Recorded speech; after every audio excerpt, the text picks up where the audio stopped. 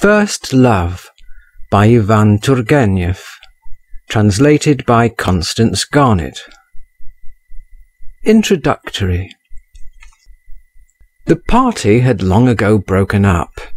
The clock struck half past twelve. There was left in the room only the master of the house and Sergei Nikolaevitch and Vladimir Petrovitch. The master of the house rang and ordered the remains of the supper to be cleared away.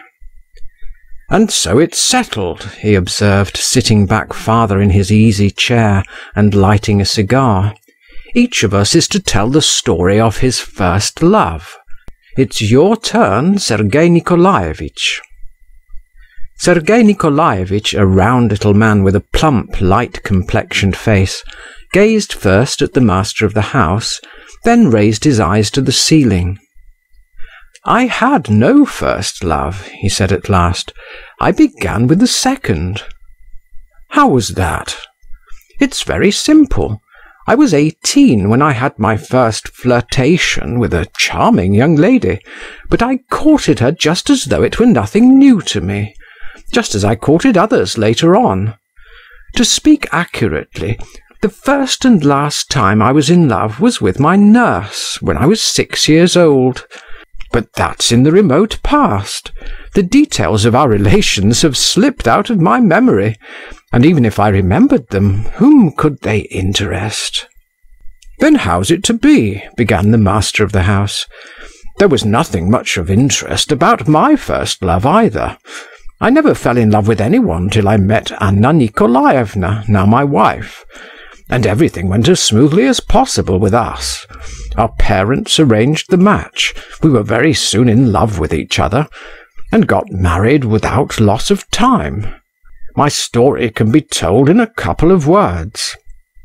I must confess, gentlemen, in bringing up the subject of first love, I reckoned upon you, I won't say old, but no longer young, bachelors. Can't you enliven us with something, Vladimir Petrovitch?" "My first love certainly was not quite an ordinary one," responded with some reluctance Vladimir Petrovitch, a man of forty, with black hair turning grey. "Ah!" said the master of the house and Sergei Nikolaevitch with one voice. "So much the better. Tell us about it."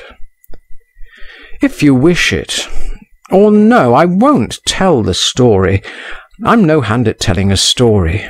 I make it dry and brief, or spun out and affected. If you'll allow me, I'll write out all I remember and read it to you." His friends at first would not agree, but Vladimir Petrovitch insisted on his own way. A fortnight later they were together again, and Vladimir Petrovitch kept his word. His manuscript contained the following story. Chapter 1 I was sixteen then. It happened in the summer of 1833. I lived in Moscow with my parents. They had taken a country house for the summer near the Kaluga gate, facing the Neskutchny gardens. I was preparing for the university, but did not work much and was in no hurry. No one interfered with my freedom. I did what I liked, especially after parting with my last tutor, a Frenchman who had never been able to get used to the idea that he had fallen like a bomb, comme une bombe, into Russia, and would lie sluggishly in bed with an expression of exasperation on his face for days together. My father treated me with careless kindness, my mother scarcely noticed me, though she had no children except me. Other cares completely absorbed her. My father, a man still young and very handsome, had married her from mercenary considerations. She was ten years older than he. My mother led a melancholy life. She was forever agitated, jealous, and angry but not in my father's presence. She was very much afraid of him, and he was severe, cold, and distant in his behaviour. I have never seen a man more elaborately serene, self-confident, and commanding. I shall never forget the first weeks I spent at the country house. The weather was magnificent. We left town on the 9th of May, on St. Nicholas's Day. I used to walk about in our garden, in the Neskutchny gardens, and beyond the town gates. I would take some book with me, Kaidanov's course, for instance, but I rarely looked into it, and more often than anything declaimed verses aloud. I knew a great deal of poetry by heart. My blood was in a ferment, and my heart ached, so sweetly and absurdly. I was all hope and anticipation, was a little frightened of something, and full of wonder at everything, and was on the tiptoe of expectation. My imagination played continually, fluttering rapidly about the same fancies, like martins about a bell tower at dawn. I dreamed, was sad, even wept, but through the tears and through the sadness, inspired by a musical verse, or the beauty of evening, shot up like grass in spring the delicious sense of youth and effervescent life. I had a horse to ride. I used to saddle it myself and set off alone for long rides, break into a rapid gallop, and fancy myself a knight at a tournament. How gaily the wind whistled in my ears, or turning my face towards the sky, I would absorb its shining radiance and blue into my soul that opened wide to welcome it. I remember that at that time the image of woman, the vision of love, scarcely ever arose in definite shape in my brain. But in all I thought, in all I felt, lay hidden a half-conscious, shamefaced presentiment of something new, unutterably sweet, feminine. This presentiment, this expectation, permeated my whole being. I breathed in it. It coursed through my veins with every drop of blood. It was destined to be soon fulfilled. The place where we settled for the summer consisted of a wooden manor house with columns and two small lodges. In the lodge on the left there was a tiny factory for the manufacture of cheap wallpapers. I had more than once strolled that way to look at about a dozen thin and dishevelled boys with greasy smocks and worn faces, who were perpetually jumping onto wooden levers that pressed down the square blocks of the press, and so by the weight of their feeble bodies struck off the variegated patterns of the wallpapers. The lodge on the right stood empty and was to let. One day, three weeks after the 9th of May, the blinds in the windows of this lodge were drawn up. Women's faces appeared at them. Some family had installed themselves in it. I remember the same day at dinner my mother inquired of the butler who were our new neighbours, and hearing the name of Princess Zasyekin, first observed with some respect, "Ah, a princess," and then added, a poor one, I suppose. They arrived in three hired flies, the butler remarked deferentially as he handed a dish. They don't keep their own carriage, and the furniture's of the poorest. Ah, replied my mother, so much the better. My father gave her a chilly glance. She was silent.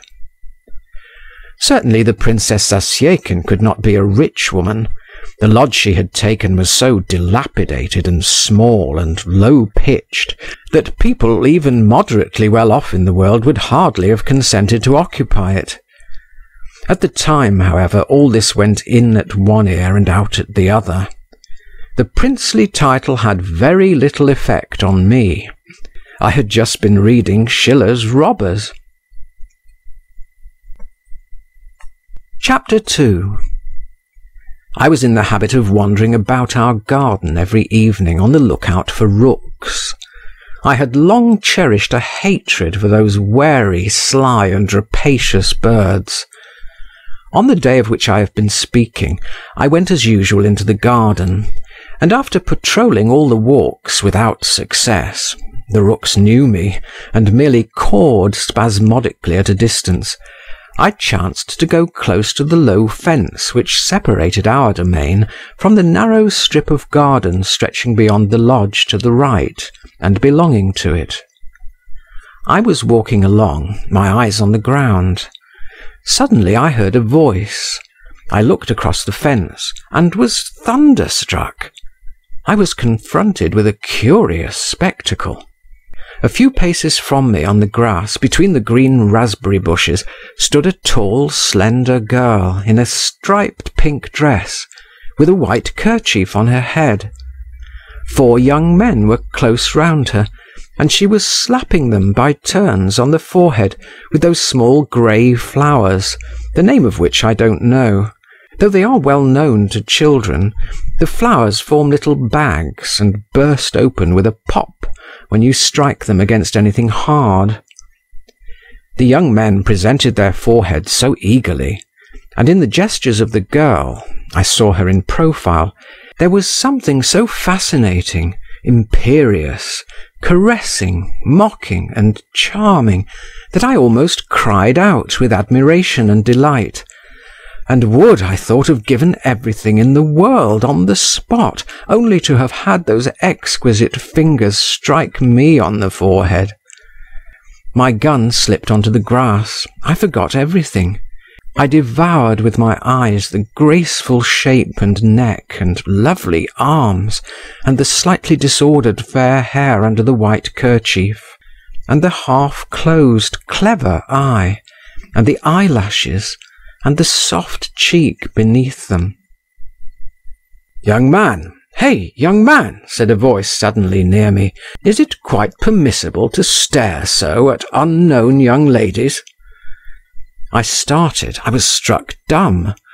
Near me, the other side of the fence, stood a man with close-cropped black hair, looking ironically at me. At the same instant the girl too turned towards me. I caught sight of big grey eyes in a bright mobile face, and the whole face suddenly quivered and laughed. There was a flash of white teeth, a droll lifting of the eyebrows. I crimsoned, picked up my gun from the ground, and pursued by a musical but not ill-natured laugh, fled to my own room, flung myself on the bed, and hid my face in my hands. My heart was fairly leaping. I was greatly ashamed and overjoyed. I felt an excitement I had never known before. After a rest I brushed my hair, washed, and went downstairs to tea. The image of the young girl floated before me. My heart was no longer leaping, but was full of a sort of sweet oppression. "What's the matter?" My father asked me all at once. Have you killed a rook? I was on the point of telling him all about it, but I checked myself and merely smiled to myself. As I was going to bed, I rotated, I don't know why, three times on one leg, pomaded my hair, got into bed and slept like a top all night. Before morning I woke up for an instant, raised my head, looked round me in ecstasy, and fell asleep again. Chapter 3 How can I make their acquaintance? was my first thought when I waked in the morning. I went out in the garden before morning tea, but I did not go too near the fence, and saw no one. After drinking tea, I walked several times up and down the street before the house, and looked into the windows from a distance. I fancied her face at a curtain, and I hurried away in alarm. I must make her acquaintance, though, I thought, pacing distractedly about the sandy plain that stretches before Neskutchny Park. But how? That is the question. I recalled the minutest details of our meeting yesterday. I had, for some reason or other, a particularly vivid recollection of how she had laughed at me. But while I racked my brains and made various plans, fate had already provided for me. In my absence my mother had received from her new neighbour a letter on grey paper, sealed with brown wax, such as is only used in notices from the post office, or on the corks of bottles of cheap wine. In this letter, which was written in illiterate language and in a slovenly hand, the princess begged my mother to use her powerful influence in her behalf. My mother, in the words of the princess, was very intimate with persons of high position, upon whom her fortunes and her children's fortunes depended, as she had some very important business in hand. I address myself to you, she wrote, as one gentlewoman to another gentlewoman, and for that reason am glad to avail myself of the opportunity. Concluding, she begged my mother's permission to call upon her. I found my mother in an unpleasant state of indecision. My father was not at home, and she had no one of whom to ask advice. Not to answer a gentlewoman, and a princess into the bargain, was impossible. But my mother was in a difficulty as to how to answer her. To write a note in French struck her as unsuitable and Russian spelling was not a strong point with my mother herself, and she was aware of it and did not care to expose herself. She was overjoyed when I made my appearance, and at once told me to go round to the princess's and to explain to her by word of mouth that my mother would always be glad to do her excellency any service within her powers, and begged her to come to see her at one o'clock. This unexpectedly rapid fulfilment of my secret desires both delighted and appalled me. I made no sign, however, of the perturbation which came over me, and as a preliminary step went to my own room to put on a new necktie and tail-coat. At home I still wore short jackets and lay-down collars, much as I abominated them. Chapter 4 in the narrow and untidy passage of the lodge, which I entered with an involuntary tremor in all my limbs, I was met by an old grey-headed servant with a dark copper-coloured face, surly little pig's eyes, and such deep furrows on his forehead and temples as I had never beheld in my life. He was carrying a plate containing the spine of a herring that had been gnawed at, and shutting the door that led into the room with his foot, he jerked out, "What do you want?" "Is the Princess Zasyekin at home?" I inquired. "Vonifaty!" a jarring female voice screamed from within. The man without a word turned his back on me, exhibiting as he did so the extremely threadbare hind part of his livery, with a solitary reddish heraldic button on it. He put the plate down on the floor and went away. "Did you go to the police station?" the same female voice called again. The man muttered something in reply. "There! Has someone come?" I heard again. "The young gentleman from next door. Ask him in, then." "Will you step into the drawing room?" said the servant, making his appearance once more, and picking up the plate from the floor. I mastered my emotions and went into the drawing room. I found myself in a small and not over clean apartment, containing some poor furniture that looked as if it had been hurriedly set down where it stood. At the window, in an easy chair with a broken arm, was sitting a woman of fifty, bareheaded and ugly, in an old green dress, and a striped worsted wrap about her neck. Her small black eyes fixed me like pins. I went up to her and bowed. "I have the honour of addressing the Princess Zasyekin?" "I am the Princess Zasyekin. And you are the son of Mr. V?" "Yes, I have come to you with a message from my mother." "Sit down, please. Vonifaty, where are my keys? Have you seen them?" I communicated to Madame Zasyekin my mother's reply to her note. She heard me out, drumming with her fat red fingers on the window pane, and when I had finished she stared at me once more.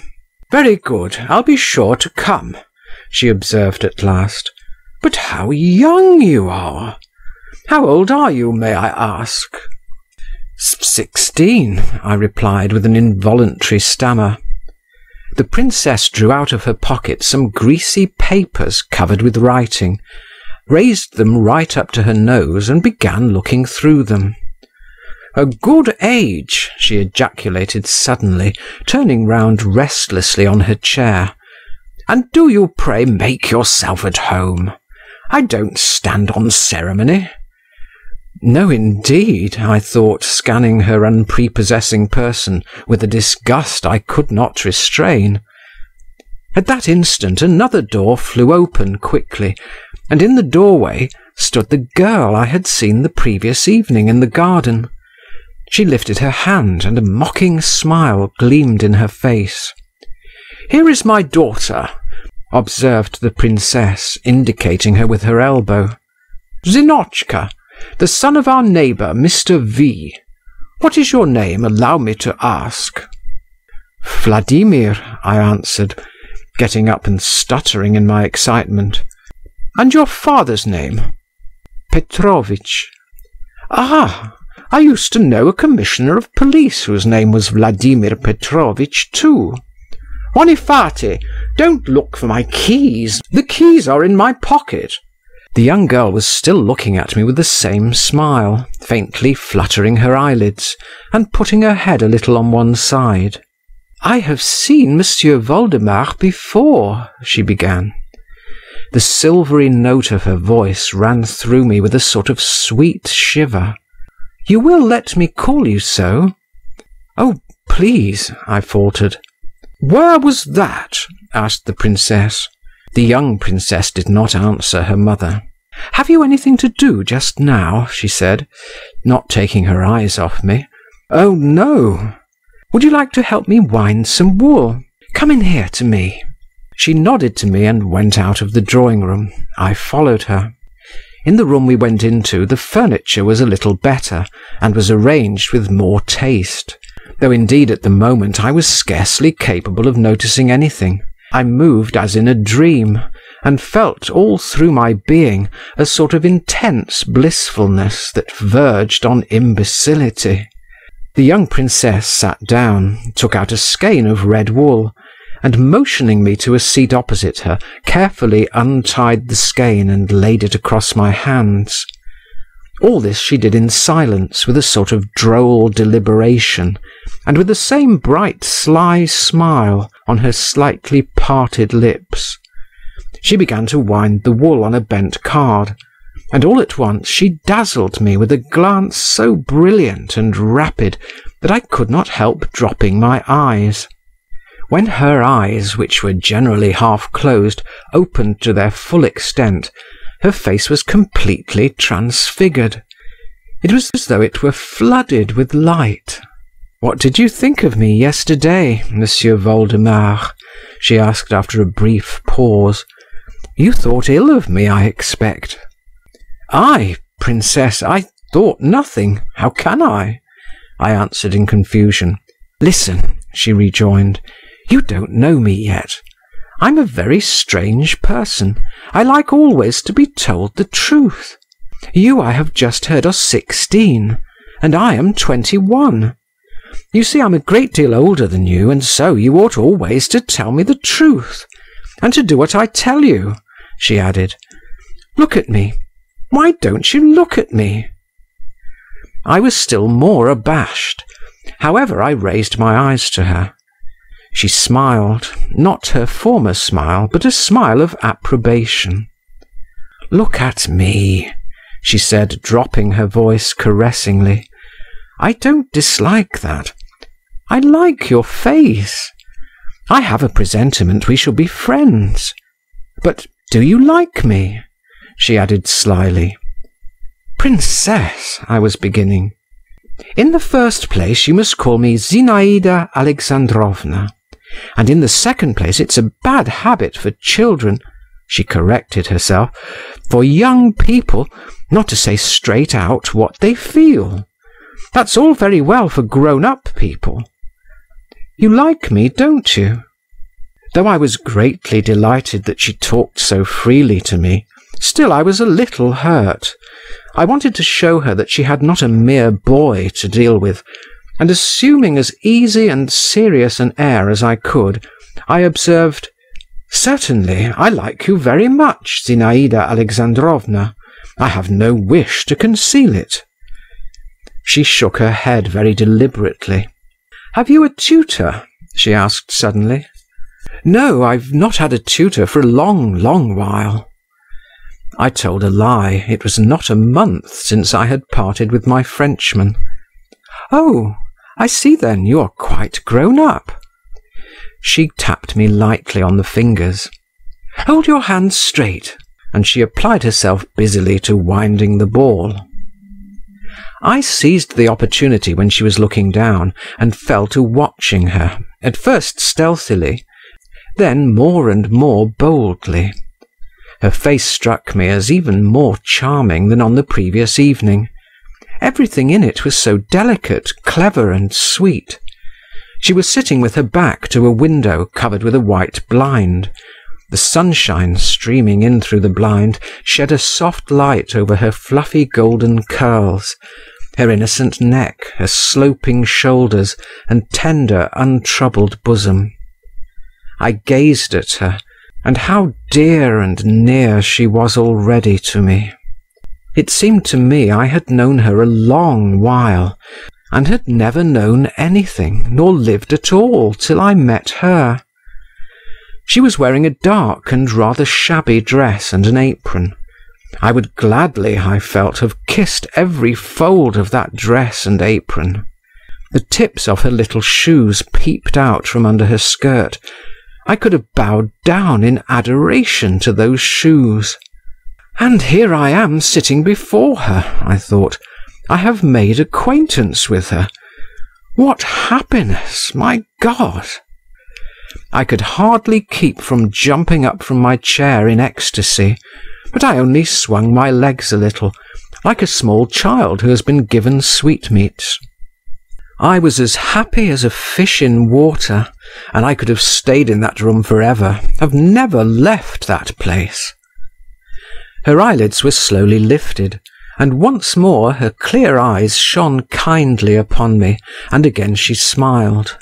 "How you look at me!" she said slowly, and she held up a threatening finger. I blushed. She understands it all, she sees it all, flashed through my mind. And how could she fail to understand and see it all? All at once there was a sound in the next room, the clink of a sabre. "Zina!" screamed the princess in the drawing room. "Byelovzorov has brought you a kitten." "A kitten!" Cried Zinaïda, and getting up from her chair impetuously, she flung the ball of worsted on my knees and ran away. I too got up, and laying the skein and the ball of wool on the window sill, I went into the drawing room and stood still, hesitating. In the middle of the room a tabby kitten was lying with outstretched paws. Zinaïda was on her knees before it, cautiously lifting up its little face. Near the old princess, and filling up almost the whole space between the two windows, was a flaxen curly-headed young man, a hussar, with a rosy face and prominent eyes. "What a funny little thing!" Zinaïda was saying. "And its eyes are not grey, but green. And what long ears! Thank you, Viktor Yegoritch, you are very kind." The hussar, in whom I recognized one of the young men I had seen the evening before, smiled and bowed with a clink of his spurs and a jingle of the chain of his sabre. "You were pleased to say yesterday that you wished to possess a tabby kitten with long ears, so I obtained it. Your word is law." And he bowed again. The kitten gave a feeble mew and began sniffing the ground. "It's hungry!" Cried Zinaïda. "Vonifaty, Sonia, bring some milk." A maid in an old yellow gown with a faded kerchief at her neck came in with a saucer of milk and set it before the kitten. The kitten started, blinked, and began lapping. "What a pink little tongue it has!" remarked Zinaïda, putting her head almost on the ground and peeping at it sideways under its very nose. The kitten, having had enough, began to purr and move its paws affectedly. Zinaïda got up, and turning to the maid, said carelessly, "Take it away."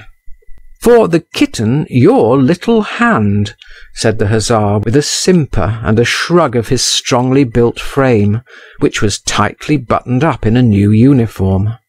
"Both," replied Zinaïda, and she held out her hands to him. While he was kissing them she looked at me over his shoulder. I stood stock still in the same place and did not know whether to laugh, to say something, or to be silent. Suddenly, through the open door into the passage, I caught sight of our footman, Fyodor. He was making signs to me. Mechanically, I went out to him. "What do you want?" I asked. "Your mamma has sent for you," he said in a whisper. "She is angry that you have not come back with the answer." "Why, have I been here long?" "Over an hour." "Over an hour," I repeated unconsciously, and going back to the drawing room I began to make bows and scrape with my heels. "Where are you off to?"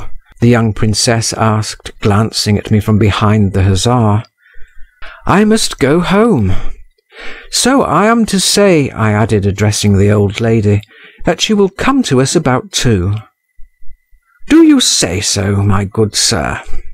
The princess hurriedly pulled out her snuff box, and took snuff so loudly that I positively jumped. "Do you say so?" she repeated, blinking tearfully and sneezing.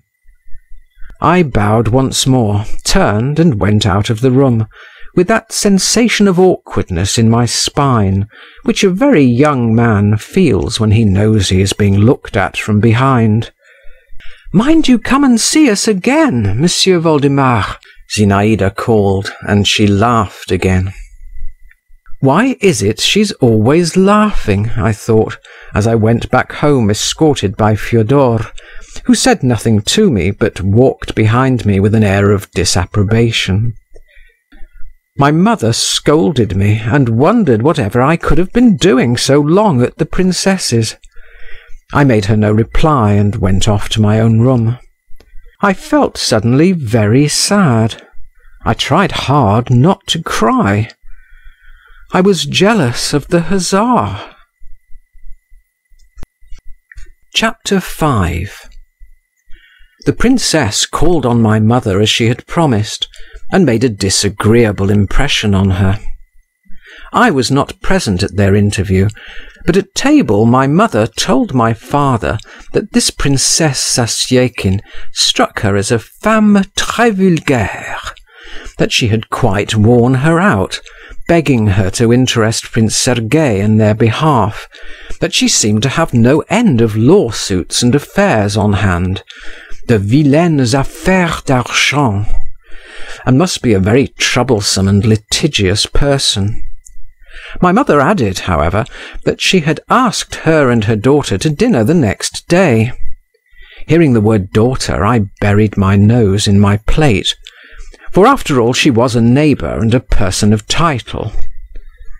Upon this my father informed my mother that he remembered now who this lady was, that he had in his youth known the deceased Prince Zasyekin, a very well bred but frivolous and absurd person, that he had been nicknamed in society Le Parisien, from having lived a long while in Paris, that he had been very rich, but had gambled away all his property, and for some unknown reason, probably for money, though indeed he might have chosen better if so, my father added with a cold smile, he had married the daughter of an agent, and after his marriage had entered upon speculations and ruined himself utterly.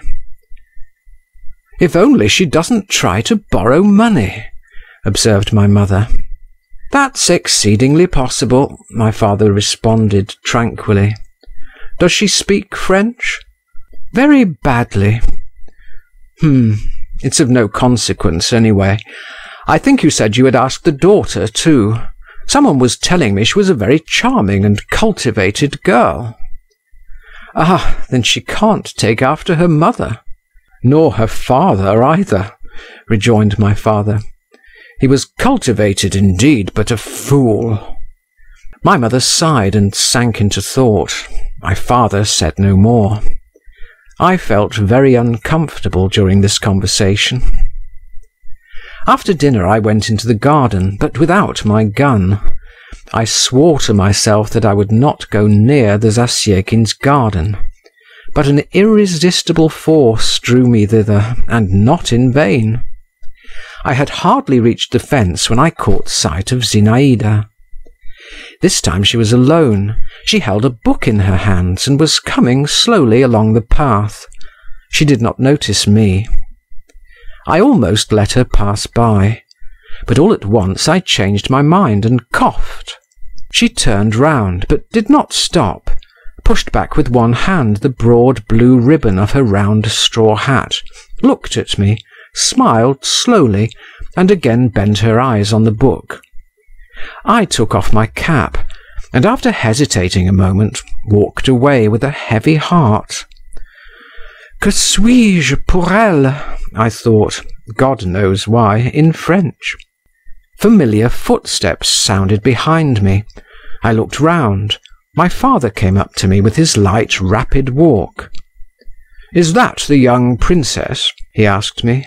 "Yes." "Why, do you know her?" "I saw her this morning at the princess's."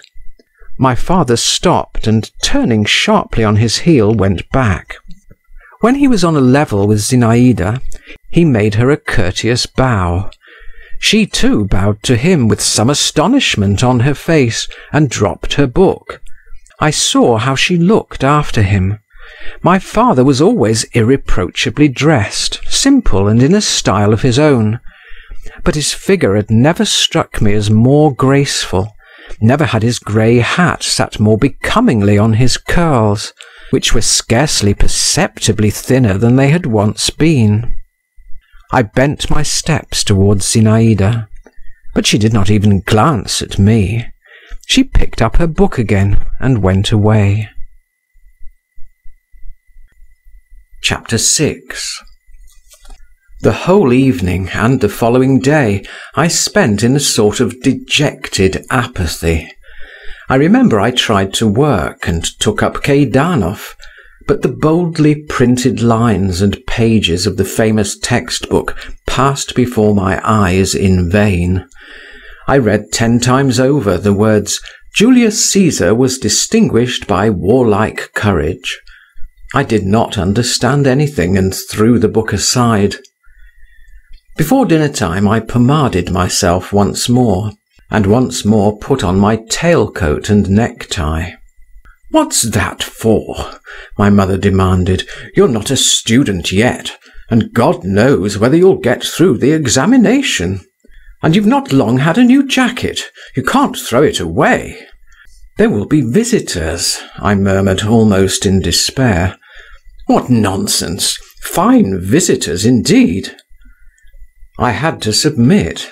I changed my tail-coat for my jacket, but I did not take off the necktie. The princess and her daughter made their appearance half an hour before dinner time. The old lady had put on, in addition to the green dress with which I was already acquainted, a yellow shawl, and an old-fashioned cap adorned with flame-coloured ribbons. She began talking at once about her money difficulties, sighing, complaining of her poverty, and imploring assistance. But she made herself at home. She took snuff as noisily, and fidgeted and lolled about in her chair as freely as ever. It never seemed to have struck her that she was a princess. Zinaïda, on the other hand, was rigid, almost haughty in her demeanour every inch a princess. There was a cold immobility and dignity in her face. I should not have recognized it. I should not have known her smiles, her glances, though I thought her exquisite in this new aspect too. She wore a light barège dress with pale blue flowers on it, her hair fell in long curls down her cheek, in the English fashion. This style went well with the cold expression of her face. My father sat beside her during dinner, and entertained his neighbour with the finished and serene courtesy peculiar to him. He glanced at her from time to time, and she glanced at him, but so strangely, almost with hostility. Their conversation was carried on in French. I was surprised, I remember, at the purity of Zinaïda's accent. The princess, while we were at table, as before made no ceremony. She ate a great deal, and praised the dishes. My mother was obviously bored by her, and answered her with a sort of weary indifference. My father faintly frowned now and then. My mother did not like Zinaïda either. A conceited minx, she said next day. And fancy, what has she to be conceited about, avec sa mine de grisette? It's clear you have never seen any grisette, my father observed to her. Thank God I haven't. Thank God, to be sure. Only how can you form an opinion of them, then? To me, Zinaïda had paid no attention whatever. Soon after dinner the princess got up to go. I shall rely on your kind offices, Maria Nikolaevna and Pyotr Vassiliitch, she said in a doleful sing-song to my mother and father. I've no help for it. There were days, but they are over. Here I am an excellency, and a poor honour it is with nothing to eat. My father made her a respectful bow, and escorted her to the door of the hall. I was standing there in my short jacket, staring at the floor like a man under sentence of death. Zinaïda's treatment of me had crushed me utterly. What was my astonishment when, as she passed me, she whispered quickly with her former kind expression in her eyes, "Come to see us at eight, do you hear? Be sure." I simply threw up my hands, but already she was gone, flinging a white scarf over her head. Chapter 7 At eight o'clock precisely, in my tailcoat and with my hair brushed up into a tuft on my head, I entered the passage of the lodge where the princess lived. The old servant looked crossly at me and got up unwillingly from his bench. There was a sound of merry voices in the drawing room. I opened the door and fell back in amazement. In the middle of the room was the young princess, standing on a chair, holding a man's hat in front of her. Round the chair crowded some half a dozen men. They were trying to put their hands into the hat, while she held it above their heads, shaking it violently. On seeing me, she cried, Stay, stay, another guest! He must have a ticket too!" And leaping lightly down from the chair, she took me by the cuff of my coat. "Come along," she said. "Why are you standing still? Monsieur, let me make you acquainted. This is Monsieur Voldemar, the son of our neighbour. And this," she went on, addressing me, and indicating her guests in turn, "Count Malevsky. Dr. Lushin, Meidanov the poet, the retired Captain Nirmatsky, and Byelovzorov the hussar, whom you have seen already. I hope you will be good friends." I was so confused that I did not even bow to anyone. In Dr. Lushin I recognized the dark man who had so mercilessly put me to shame in the garden. The others were unknown to me. "Count!" Continued Zinaïda, write Monsieur Voldemar a ticket." "That's not fair," was objected in a slight Polish accent by the count, a very handsome and fashionably dressed brunette, with expressive brown eyes, a thin little white nose, and delicate little moustaches over a tiny mouth. "This gentleman has not been playing forfeits with us." "It's unfair repeated in chorus Byelovzorov and the gentleman described as a retired captain. a man of forty, pock-marked to a hideous degree, curly-headed as a negro, round-shouldered, bandy-legged, and dressed in a military coat without epaulets, worn unbuttoned. "Write him a ticket, I tell you," repeated the young princess. "What's this mutiny? M'sieu Voldemar is with us for the first time, and there are no rules for him yet. It's no use grumbling. Write it. I wish it." The count shrugged his shoulders, but bowed submissively, took the pen into his white ring bedecked fingers, tore off a scrap of paper, and wrote on it. "At least let us explain to M'sieu Voldemar what we are about," Lushin began in a sarcastic voice, "or else he will be quite lost. Do you see, young man, we are playing forfeits. The princess has to pay a forfeit, and the one who draws the lucky lot is to have the privilege of kissing her hand. Do you understand what I've told you?" I simply stared at him, and continued to stand still in bewilderment, while the young princess jumped up on the chair again, and again began waving the hat. They all stretched up to her, and I went after the rest. "Meidanov," said the princess to a tall young man with a thin face, little dim-sighted eyes, and exceedingly long black hair, "you as a poet ought to be magnanimous, and give up your number to M'sieu Voldemar, so that he may have two chances instead of one." But Meidanov shook his head in refusal, and tossed his hair. After all the others I put my hand into the hat, and unfolded my lot. Heavens! What was my condition when I saw on it the word kiss? Kiss! I could not help crying aloud. "Bravo! He has won it!"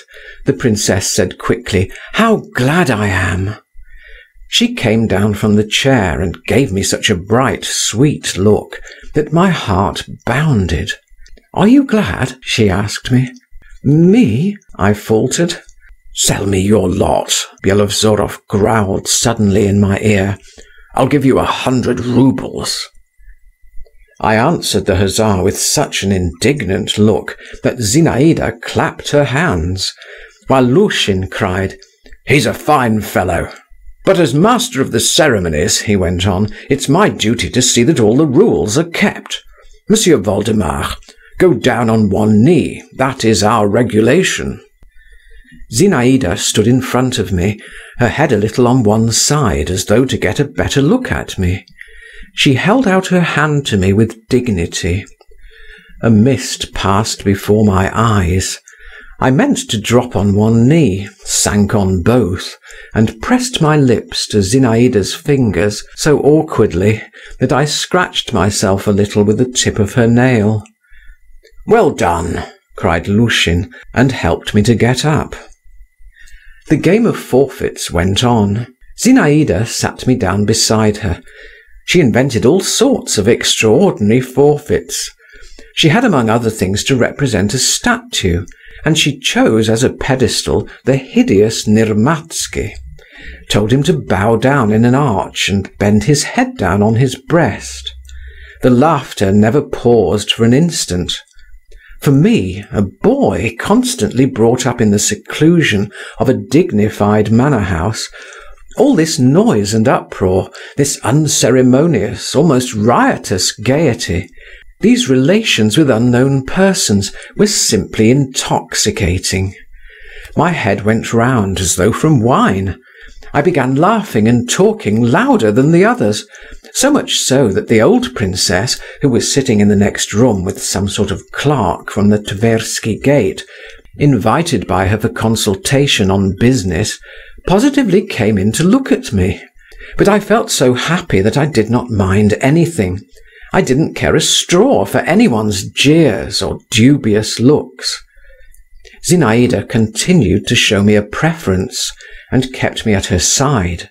In one forfeit I had to sit by her, both hidden under one silk handkerchief. I was to tell her my secret. I remember our two heads being all at once in a warm, half transparent, fragrant darkness, the soft, close brightness of her eyes in the dark, and the burning breath from her parted lips, and the gleam of her teeth and the ends of her hair tickling me and setting me on fire. I was silent. She smiled slyly and mysteriously, and at last whispered to me, "Well, what is it?" But I merely blushed and laughed, and turned away, catching my breath. We got tired of forfeits. We began to play a game with a string. My God, what were my transports when, for not paying attention, I got a sharp and vigorous slap on my fingers from her, and how I tried afterwards to pretend that I was absent-minded, and she teased me, and would not touch the hands I held out to her. What didn't we do that evening? We played the piano, and sang and danced, and acted a gipsy encampment. Nirmatsky was dressed up as a bear, and made to drink salt water. Count Malevsky showed us several sorts of card tricks, and finished after shuffling the cards by dealing himself all the trumps at whist, on which Lushin had the honour of congratulating him. Meidanov recited portions from his poem "The Manslayer" (romanticism was at its height at this period), which he intended to bring out in a black cover with the title in blood red letters. They stole the clerk's cap off his knee, and made him dance a Cossack dance by way of ransom for it. They dressed up old Vonifaty in a woman's cap, and the young princess put on a man's hat. I could not enumerate all we did. Only Byelovzorov kept more and more in the background, scowling and angry. Sometimes his eyes looked bloodshot, he flushed all over, and it seemed every minute as though he would rush out upon us and scatter us like shavings in all directions. But the young princess would glance at him and shake her finger at him, and he would retire into his corner again. We were quite worn out at last. Even the old princess, though she was ready for anything, as she expressed it, and no noise wearied her, felt tired at last, and longed for peace and quiet. At twelve o'clock at night supper was served, consisting of a piece of stale dry cheese and some cold turnovers of minced ham, which seemed to me more delicious than any pastry I had ever tasted. There was only one bottle of wine, and that was a strange one, a dark-coloured bottle with a wide neck, and the wine in it was of a pink hue. No one drank it, however. Tired out and faint with happiness, I left the lodge. At parting, Zinaïda pressed my hand warmly, and again smiled mysteriously. The night air was heavy and damp in my heated face. A storm seemed to be gathering. Black storm clouds grew and crept across the sky, their smoky outlines visibly changing. A gust of wind shivered restlessly in the dark trees, and somewhere far away on the horizon muffled thunder angrily muttered as it were to itself. I made my way up to my room by the back stairs. My old man nurse was asleep on the floor, and I had to step over him. He waked up, saw me, and told me that my mother had again been very angry with me, and had wished to send after me again, but that my father had prevented her. I had never gone to bed without saying good night to my mother, and asking her blessing. There was no help for it now. I told my man that I would undress and go to bed by myself, and I put out the candle. But I did not undress and did not go to bed. I sat down on a chair and sat a long while as though spellbound. What I was feeling was so new and so sweet.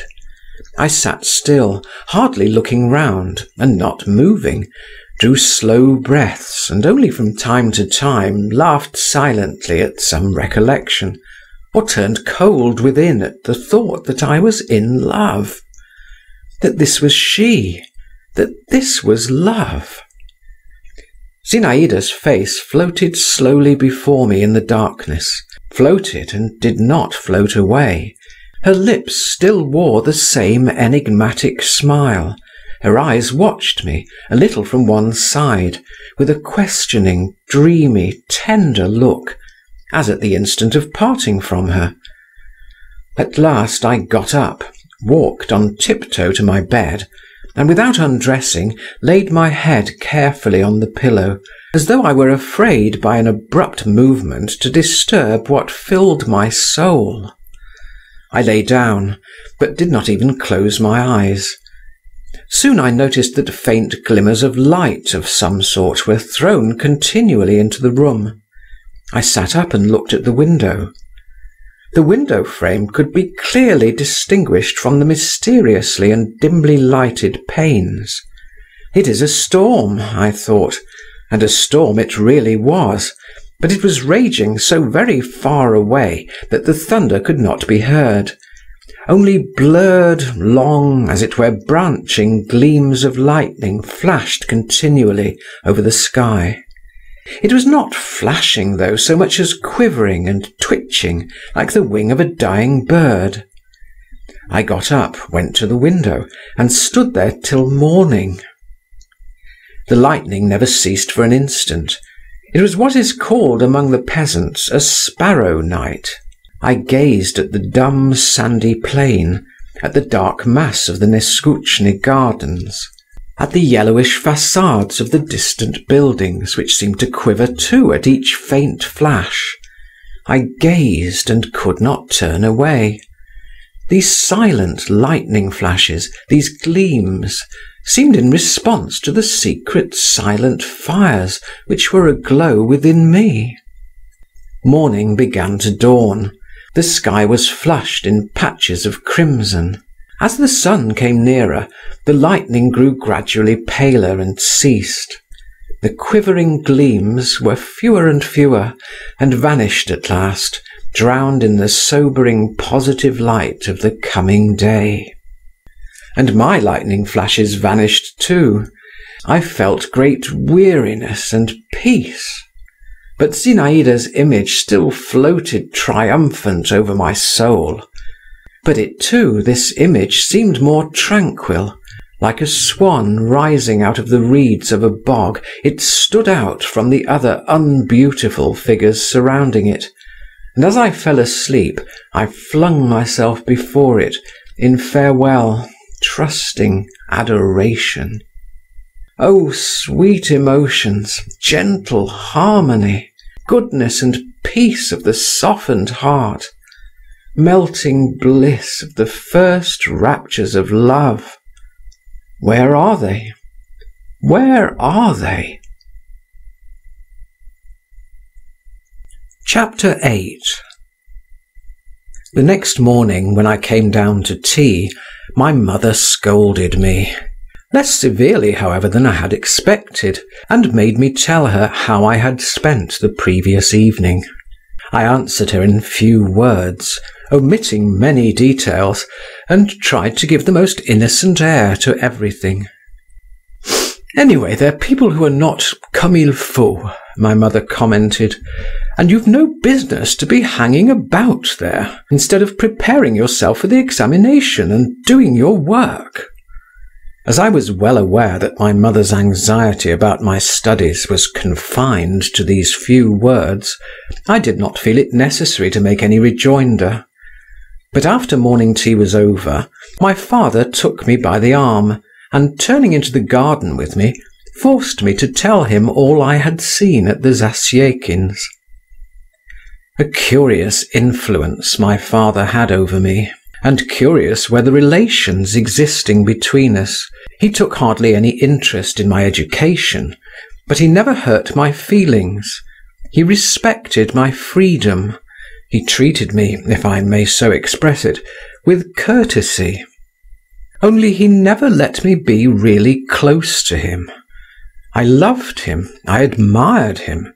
He was my ideal of a man. And heavens, how passionately devoted I should have been to him if I had not been continually conscious of his holding me off.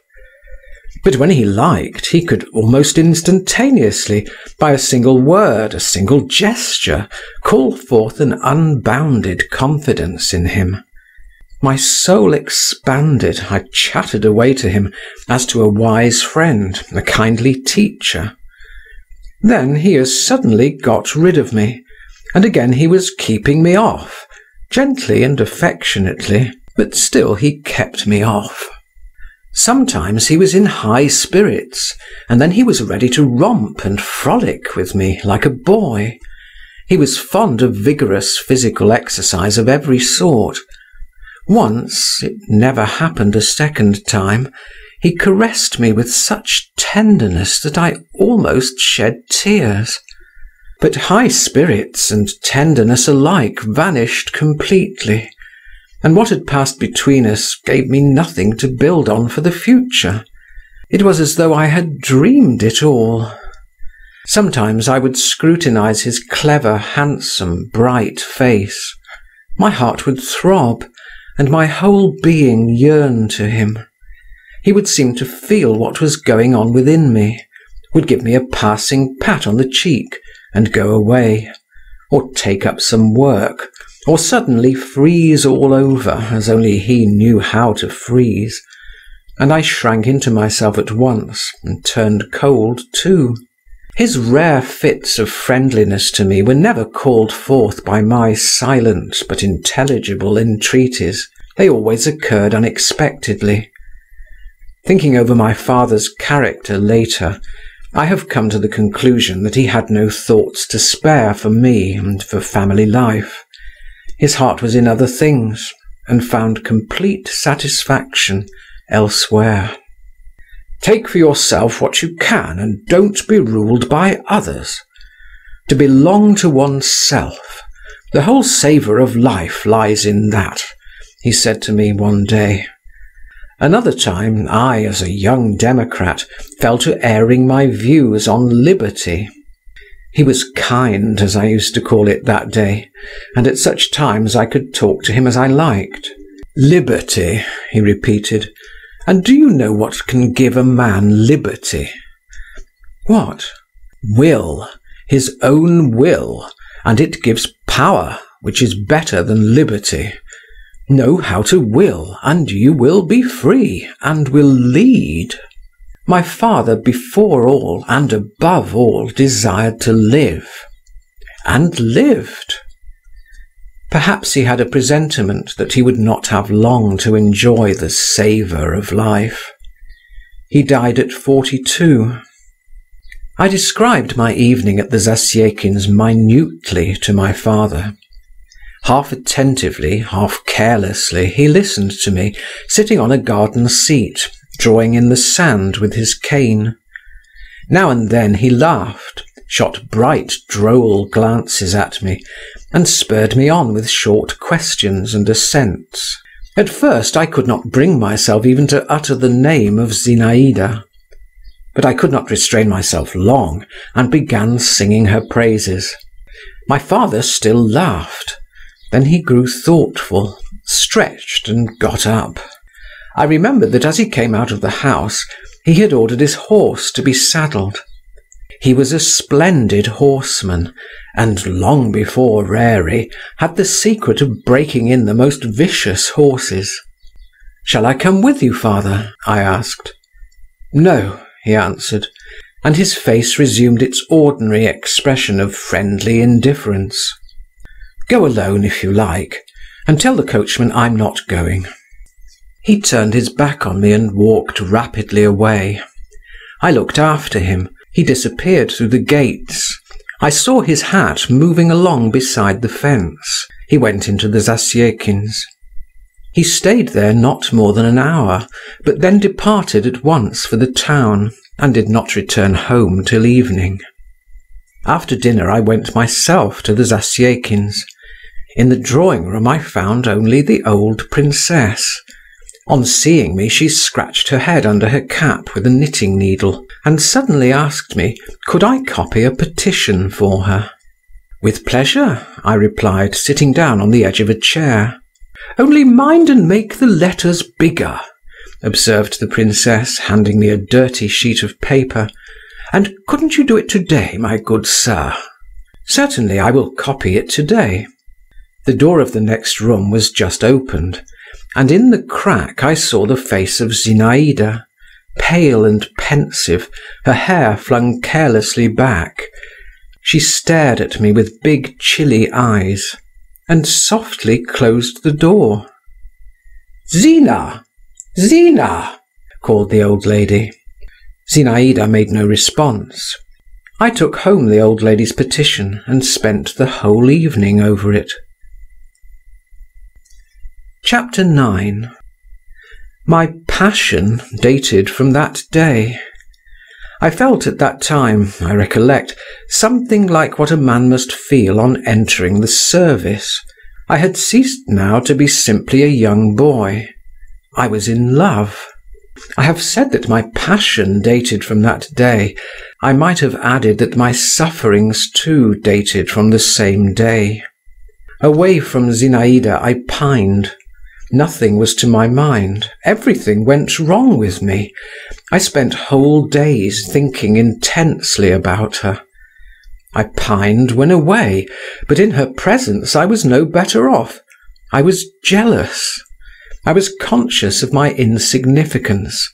I was stupidly sulky or stupidly abject, and all the same an invincible force drew me to her and I could not help a shudder of delight whenever I stepped through the doorway of her room. Zinaïda guessed at once that I was in love with her, and indeed I never even thought of concealing it.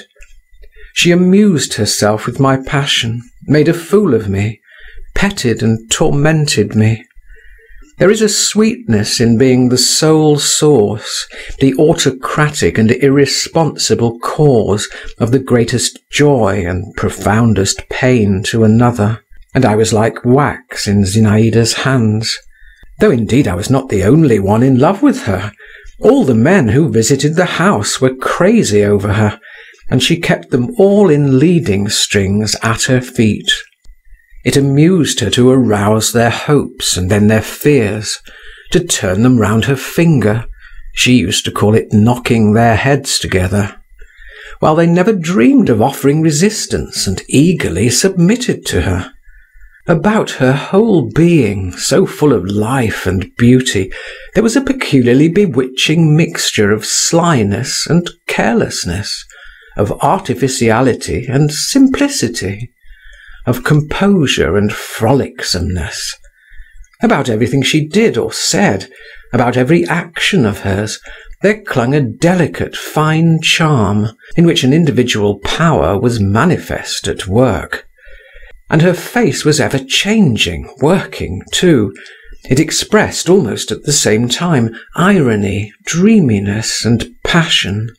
Various emotions, delicate and quick changing as the shadows of clouds on a sunny day of wind, chased one another continually over her lips and eyes. Each of her adorers was necessary to her.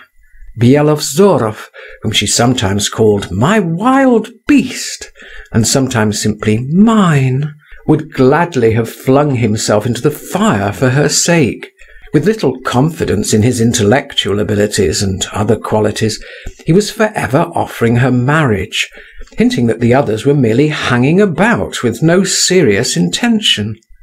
Meidanov responded to the poetic fibres of her nature. A man of rather cold temperament, like almost all writers, he forced himself to convince her, and perhaps himself, that he adored her, sang her praises in endless verses, and read them to her with a peculiar enthusiasm, at once affected and sincere. She sympathized with him, and at the same time jeered at him a little. She had no great faith in him, and after listening to his outpourings, she would make him read Pushkin, as she said to clear the air. Lushin, the ironical doctor, so cynical in words, knew her better than any of them, and loved her more than all, though he abused her to her face and behind her back. She could not help respecting him, but made him smart for it, and at times, with a peculiar malignant pleasure, made him feel that he too was at her mercy. "I'm a flirt, I'm heartless, I'm an actress in my instincts," she said to him one day in my presence. "Well and good. Give me your hand, then. I'll stick this pin in it. You'll be ashamed of this young man seeing it. It will hurt you. But you'll laugh for all that, you truthful person." Lushin crimsoned, turned away, bit his lips, but ended by submitting his hand. She pricked it, and he did in fact begin to laugh and she laughed, thrusting the pin in pretty deeply, and peeping into his eyes, which he vainly strove to keep in other directions. I understood least of all the relations existing between Zinaïda and Count Malevsky. He was handsome, clever, and adroit, but something equivocal, something false in him was apparent even to me, a boy of sixteen, and I marvelled that Zinaïda did not notice it. But possibly she did notice this element of falsity really, and was not repelled by it. Her irregular education, strange acquaintances and habits, the constant presence of her mother, the poverty and disorder in their house, everything, from the very liberty the young girl enjoyed, with the consciousness of her superiority to the people around her, had developed in her a sort of half contemptuous carelessness and lack of fastidiousness. At any time anything might happen. Vonifaty might announce that there was no sugar, or some revolting scandal would come to her ears, or her guests would fall to quarrelling among themselves. She would only shake her curls and say, "What does it matter?" and care little enough about it. But my blood, anyway, was sometimes on fire with indignation when Malevsky approached her, with a sly, fox-like action, leaned gracefully on the back of her chair, and began whispering in her ear with a self-satisfied and ingratiating little smile, while she folded her arms across her bosom, looked intently at him, and smiled too, and shook her head. "What induces you to receive Count Malevsky?" I asked her one day. "He has such pretty moustaches," she answered, "but that's rather beyond you." "You needn't think I care for him," she said to me another time. "No, I don't care for people I have to look down upon. I must have someone who can master me. But merciful heavens, I hope I may never come across anyone like that. I don't want to be caught in anyone's claws, not for anything. You'll never be in love, then. And you, don't I love you? she said, and she flicked me on the nose with the tip of her glove. Yes, Zinaïda amused herself hugely at my expense. For three weeks I saw her every day. And what she didn't do with me! She rarely came to see us, and I was not sorry for it. In our house she was transformed into a young lady, a young princess, and I was a little overawed by her. I was afraid of betraying myself before my mother. She had taken a great dislike to Zinaïda, and kept a hostile eye upon us. My father I was not so much afraid of. He seemed not to notice me. He talked little to her, but always with special cleverness and significance. I gave up working and reading. I even gave up walking about the neighbourhood and riding my horse. Like a beetle tied by the leg, I moved continually round and round my beloved little lodge. I would gladly have stopped there altogether, it seemed, but that was impossible. My mother scolded me, and sometimes Zinaïda herself drove me away. Then I used to shut myself up in my room, or go down to the very end of the garden, and climbing into what was left of a tall stone greenhouse, now in ruins, sit for hours with my legs hanging over the wall that looked onto the road, gazing and gazing, and seeing nothing. White butterflies flitted lazily by me over the dusty nettles. A saucy sparrow settled not far off on the half crumbling red brickwork and twittered irritably, incessantly twisting and turning and preening his tail feathers. The still mistrustful rooks cawed now and then, sitting high, high up on the bare top of a birch tree. The sun and wind played softly on its pliant branches. The tinkle of the bells of the Don monastery floated across to me from time to time, peaceful and dreary, while I sat, gazed, listened, and was filled full of a nameless sensation in which all was contained sadness and joy and the foretaste of the future, and the desire and dread of life. But at that time I understood nothing of it, and I could have given a name to nothing of all that was passing at random within me, or should have called it all by one name, the name of Zinaïda. Zinaïda continued to play cat and mouse with me. She flirted with me, and I was all agitation and rapture. Then she would suddenly thrust me away, and I dared not go near her, dared not look at her. I remember she was very cold to me for several days together. I was completely crushed, and creeping timidly to their lodge, tried to keep close to the old princess, regardless of the circumstance that she was particularly scolding and grumbling just at that time. Her financial affairs had been going badly, and she had already had two explanations with the police officials. One day I was walking in the garden beside the familiar fence, and I caught sight of Zinaïda. Leaning on both arms, she was sitting on the grass, not stirring a muscle. I was about to make off cautiously, but she suddenly raised her head and beckoned me imperiously. My heart failed me. I did not understand her at first.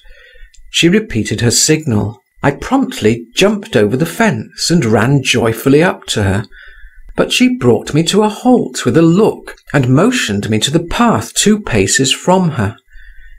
In confusion, not knowing what to do, I fell on my knees at the edge of the path. She was so pale. Such bitter suffering, such intense weariness was expressed in every feature of her face that it sent a pang to my heart, and I muttered unconsciously, What is the matter? Zinaïda stretched out her head, picked a blade of grass, bit it, and flung it away from her. You love me very much? she asked at last. Yes. I made no answer. Indeed, what need was there to answer? Yes, she said, looking at me as before. That's so. The same eyes, she went on, sank into thought and hid her face in her hands. Everything's grown so loathsome to me, she whispered. I would have gone to the other end of the world first. I can't bear it. I can't get over it. And what is there before me? Ah, oh, I am wretched. My God, how wretched I am! What for? I asked timidly. Zinaïda made no answer, she simply shrugged her shoulders. I remained kneeling, gazing at her with intense sadness. Every word she had uttered simply cut me to the heart. At that instant I felt I would gladly have given my life, if only she should not grieve. I gazed at her, and though I could not understand why she was wretched, I vividly pictured to myself how in a fit of insupportable anguish she had suddenly come out into the garden and sunk to the earth as though mown down by a scythe. It was all bright and green about her. The wind was whispering in the leaves of the trees and swinging now and then a long branch of a raspberry bush over Zinaïda's head.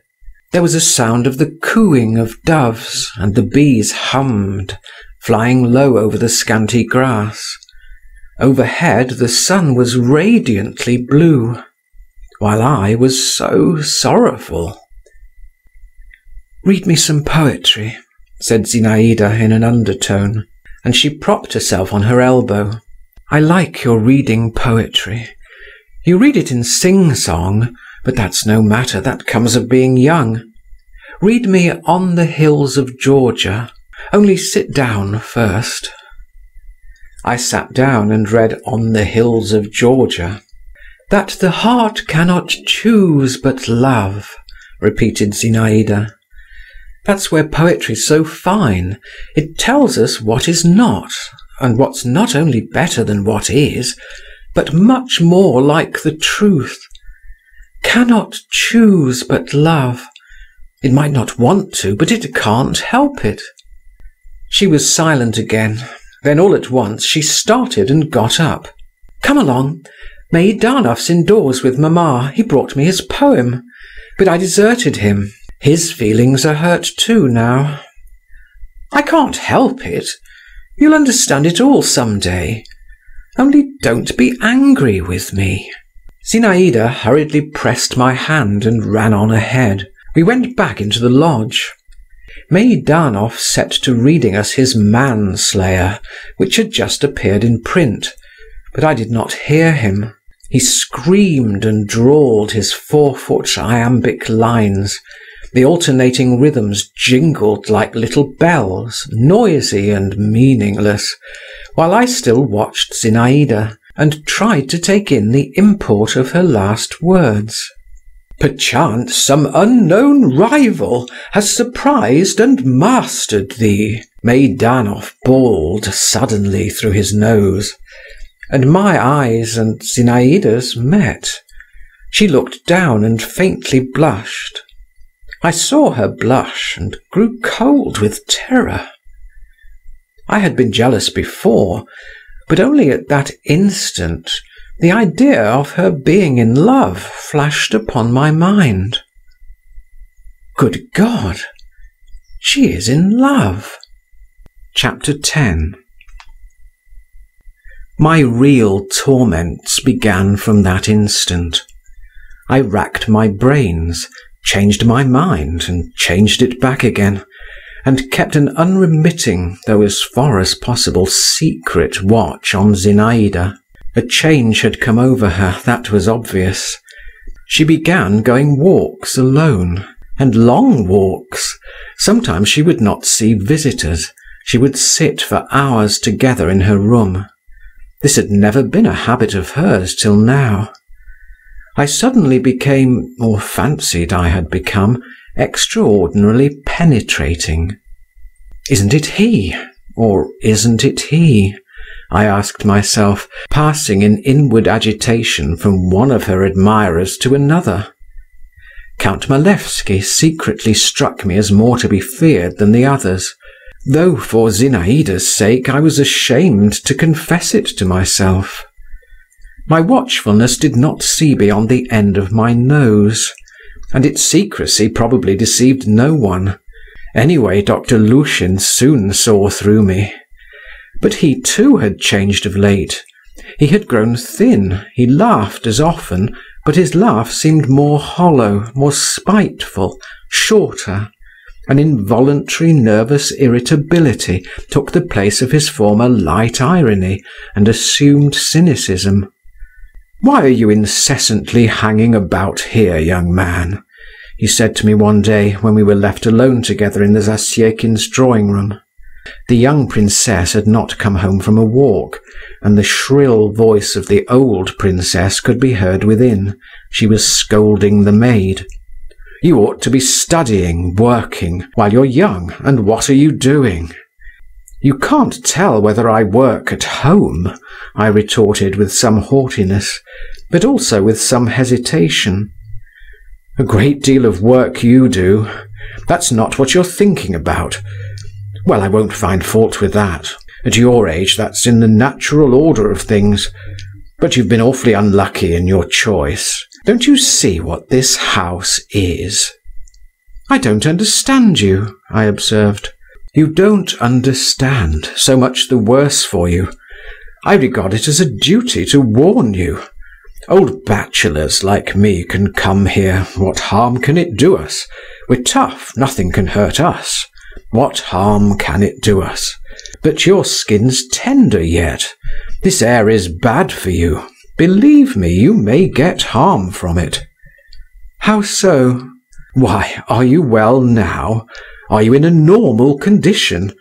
Is what you're feeling beneficial to you, good for you?" "Why, what am I feeling?" I said, while in my heart I knew the doctor was right. "Ah, young man, young man!" the doctor went on with an intonation that suggested that something highly insulting to me was contained in these two words. What's the use of your prevaricating, when, thank God, what's in your heart is in your face, so far? But there, what's the use of talking? I shouldn't come here myself if the doctor compressed his lips. If I weren't such a queer fellow. Only this is what surprises me how it is you, with your intelligence, don't see what is going on around you. And what is going on? I put in, all on the alert. The doctor looked at me with a sort of ironical compassion. Nice of me, he said as though to himself, as if he need know anything of it. In fact, I tell you again, he added, raising his voice, the atmosphere here is not fit for you. You like being here, but what of that? It's nice and sweet smelling in a greenhouse, but there's no living in it. Yes, do as I tell you, and go back to your Kaidanov. The old princess came in and began complaining to the doctor of her toothache. Then Zinaïda appeared. "Come," said the old princess, "you must scold her, doctor. She's drinking iced water all day long. Is that good for her, pray, with her delicate chest?" "Why do you do that?" asked Lushin. "Why, what effect could it have? What effect?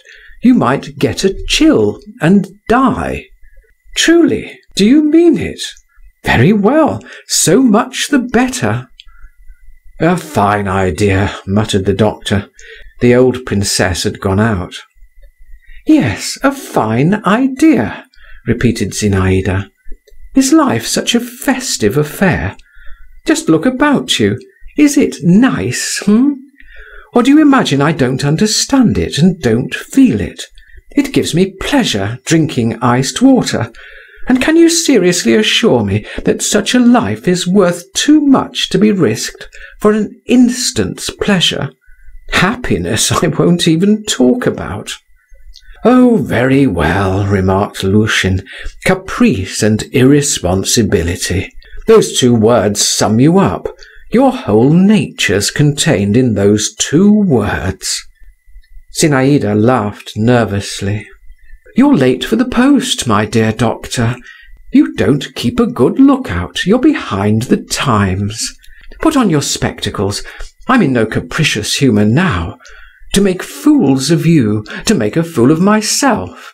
Much fun there is in that. And as for irresponsibility Monsieur Voldemar, Zinaïda added suddenly, stamping, don't make such a melancholy face. I can't endure people to pity me." She went quickly out of the room. "It's bad for you, very bad for you, this atmosphere, young man," Lushin said to me once more. Chapter 11 On the evening of the same day the usual guests were assembled at the Zasyekins'. I was among them. The conversation turned on Meidanov's poem.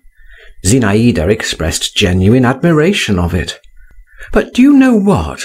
she said to him. "If I were a poet, I would choose quite different subjects. Perhaps it's all nonsense, but strange ideas sometimes come into my head, especially when I'm not asleep in the early morning, when the sky begins to turn rosy and grey both at once. I would, for instance you won't laugh at me?" "No, no!" we all cried with one voice. "I would describe," she went on, folding her arms across her bosom and looking away, "a whole company of young girls at night, in a great boat, on a silent river. The moon is shining, and they are all in white, and wearing garlands of white flowers, and singing, you know, something in the nature of a hymn." "I see, I see, go on," Meidanov commented with dreamy significance. All of a sudden loud clamour, laughter, torches, tambourines on the bank. It's a troop of bacchantes, dancing with songs and cries. It's your business to make a picture of it, Mr. Poet. Only I should like the torches to be red and to smoke a great deal, and the bacchantes' eyes to gleam under their wreaths, and the wreaths to be dusky. Don't forget the tiger skins too, and goblets, and gold, lots of gold. Where ought the gold to be? asked Meidanov, tossing back his sleek hair and distending his nostrils. Where? On their shoulders and arms and legs, everywhere. They say in ancient times women wore gold rings on their ankles. The Bacchantes call the girls in the boat to them. The girls have ceased singing their hymn; they cannot go on with it, but they do not stir. The river carries them to the bank. And suddenly one of them slowly rises. This you must describe nicely, how she slowly gets up in the moonlight, and how her companions are afraid. She steps over the edge of the boat, the Bacchantes surround her, whirl her away into night and darkness. Here put in smoke in clouds and everything in confusion. There is nothing but the sound of their shrill cry, and her wreath left lying on the bank. Zinaïda ceased. "Oh, she is in love," I thought again. "And is that all?" asked Meidanov. "That's all. That can't be the subject of a whole poem," he observed pompously but I will make use of your idea for a lyrical fragment." "In the romantic style?" queried Malevsky. "Of course, in the romantic style. Byronic." "Well, to my mind, Hugo beats Byron," the young count observed negligently. "He's more interesting." "Hugo is a writer of the first class," replied Meidanov and my friend Tonkosheev, in his Spanish romance El Trovador, "Ah, is that the book with the question marks turned upside down?" Zinaïda interrupted. "Yes, that's the custom with the Spanish. I was about to observe that Tonkosheev "Come, you're not going to argue about classicism and romanticism again," Zinaïda interrupted him a second time. "We'd much better play "Forfeits?" put in Lushin. "No, forfeits are a bore at comparisons. This game Zinaïda had invented herself. Some object was mentioned, everyone tried to compare it with something, and the one who chose the best comparison got a prize. She went up to the window. The sun was just setting. High up in the sky were large red clouds. "What are those clouds like?" questioned Zinaïda and without waiting for our answer, she said, "I think they are like the purple sails on the golden ship of Cleopatra when she sailed to meet Antony. Do you remember, Meidanov, you were telling me about it not long ago?" All of us, like Polonius in Hamlet, opined that the clouds recalled nothing so much as those sails, and that not one of us could discover a better comparison. "And how old was Antony then?" inquired Zinaïda. "A young man, no doubt," observed Malevsky. "Yes, a young man," Meidanov chimed in in confirmation. "Excuse me," cried Lushin, "he was over forty." "Over forty," repeated Zinaïda, giving him a rapid glance. I soon went home. "She is in love my lips unconsciously repeated. But with whom? Chapter 12 The days passed by. Zinaïda became stranger and stranger, and more and more incomprehensible. One day I went over to her and saw her sitting in a basket chair, her head pressed to the sharp edge of the table. She drew herself up, her whole face was wet with tears. "Ah, you!" she said with a cruel smile. "Come here." I went up to her. She put her hand on my head, and suddenly catching hold of my hair, began pulling it. "It hurts me," I said at last. "Ah, does it? And do you suppose nothing hurts me?" she replied. "I!" she cried suddenly, seeing she had pulled a little tuft of hair out. "What have I done? Poor Monsieur Voldemar!" She carefully smoothed the hair she had torn out, stroked it round her finger, and twisted it into a ring. "I shall put your hair in a locket and wear it round my neck," she said, while the tears still glittered in her eyes.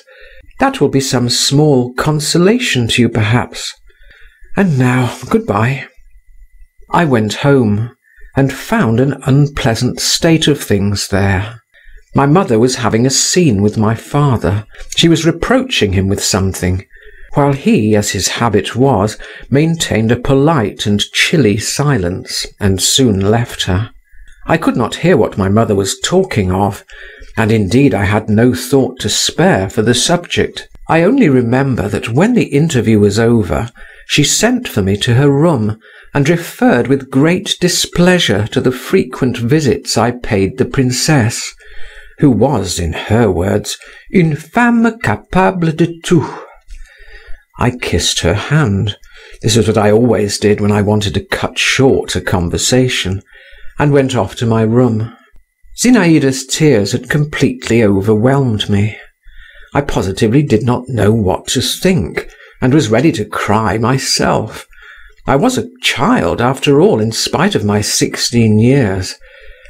I had now given up thinking about Malevsky though Byelovzorov looked more and more threatening every day, and glared at the wily count like a wolf at a sheep. But I thought of nothing and of no one. I was lost in imaginings, and was always seeking seclusion and solitude. I was particularly fond of the ruined greenhouse. I would climb up on the high wall and perch myself, and sit there such an unhappy, lonely, and melancholy youth that I felt sorry for myself. And how consolatory were those mournful sensations, how I revelled in them! One day I was sitting on the wall looking into the distance and listening to the ringing of the bells. Suddenly something floated up to me, not a breath of wind and not a shiver, but as it were a whiff of fragrance, as it were a sense of someone's being near. I looked down. Below on the path, in a light greyish gown, with a pink parasol on her shoulder, was Zinaïda, hurrying along. She caught sight of me, stopped, and pushing back the brim of her straw hat, she raised her velvety eyes to me. "What are you doing up there at such a height?" She asked me with a rather queer smile. "Come," she went on, "you always declare you love me. Jump down into the road to me, if you really do love me." Zinaïda had hardly uttered those words when I flew down, just as though someone had given me a violent push from behind. The wall was about fourteen feet high. I reached the ground on my feet, but the shock was so great that I could not keep my footing. I fell down, and for an instant fainted away. When I came to myself again, without opening my eyes, I felt Zinaïda beside me. "My dear boy," she was saying, bending over me, and there was a note of alarmed tenderness in her voice. "How could you do it, dear? How could you obey? You know I love you. Get up." Her bosom was heaving close to me, her hands were caressing my head, and suddenly what were my emotions at that moment her soft fresh lips began covering my face with kisses. They touched my lips. But then Zinaïda probably guessed by the expression of my face that I had regained consciousness, though I still kept my eyes closed, and rising rapidly to her feet, she said, "Come, get up! Naughty boy! Silly! Why are you lying in the dust?"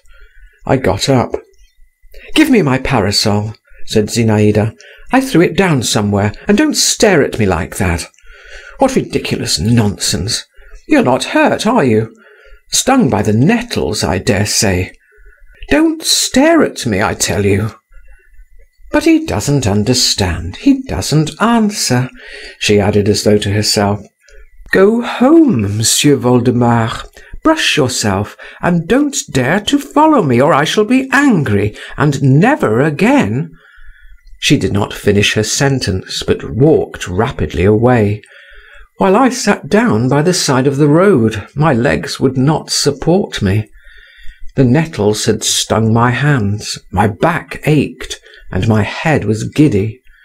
But the feeling of rapture I experienced then has never come a second time in my life. It turned to a sweet ache in all my limbs, and found expression at last in joyful hops and skips and shouts. Yes, I was still a child. Chapter 13 I was so proud and light-hearted all that day. I so vividly retained on my face the feeling of Zinaïda's kisses. With such a shudder of delight I recalled every word she had uttered. I so hugged my unexpected happiness that I felt positively afraid positively unwilling to see her who had given rise to these new sensations. It seemed to me that now I could ask nothing more of fate, that now I ought to go and draw a deep last sigh and die. But next day, when I went into the lodge, I felt great embarrassment, which I tried to conceal under a show of modest confidence befitting a man who wishes to make it apparent that he knows how to keep a secret. Zinaïda received me very simply, without any emotion. She simply shook her finger at me and asked me whether I wasn't black and blue. All my modest confidence and air of mystery vanished instantaneously, and with them my embarrassment. Of course I had not expected anything particular, but Zinaïda's composure was like a bucket of cold water thrown over me. I realized that in her eyes I was a child, and was extremely miserable. Zinaïda walked up and down the room, giving me a quick smile whenever she caught my eye. But her thoughts were far away, I saw that clearly. Shall I begin about what happened yesterday myself? I pondered. Ask her where she was hurrying off so fast so as to find out once for all. But with a gesture of despair I merely went and sat down in a corner.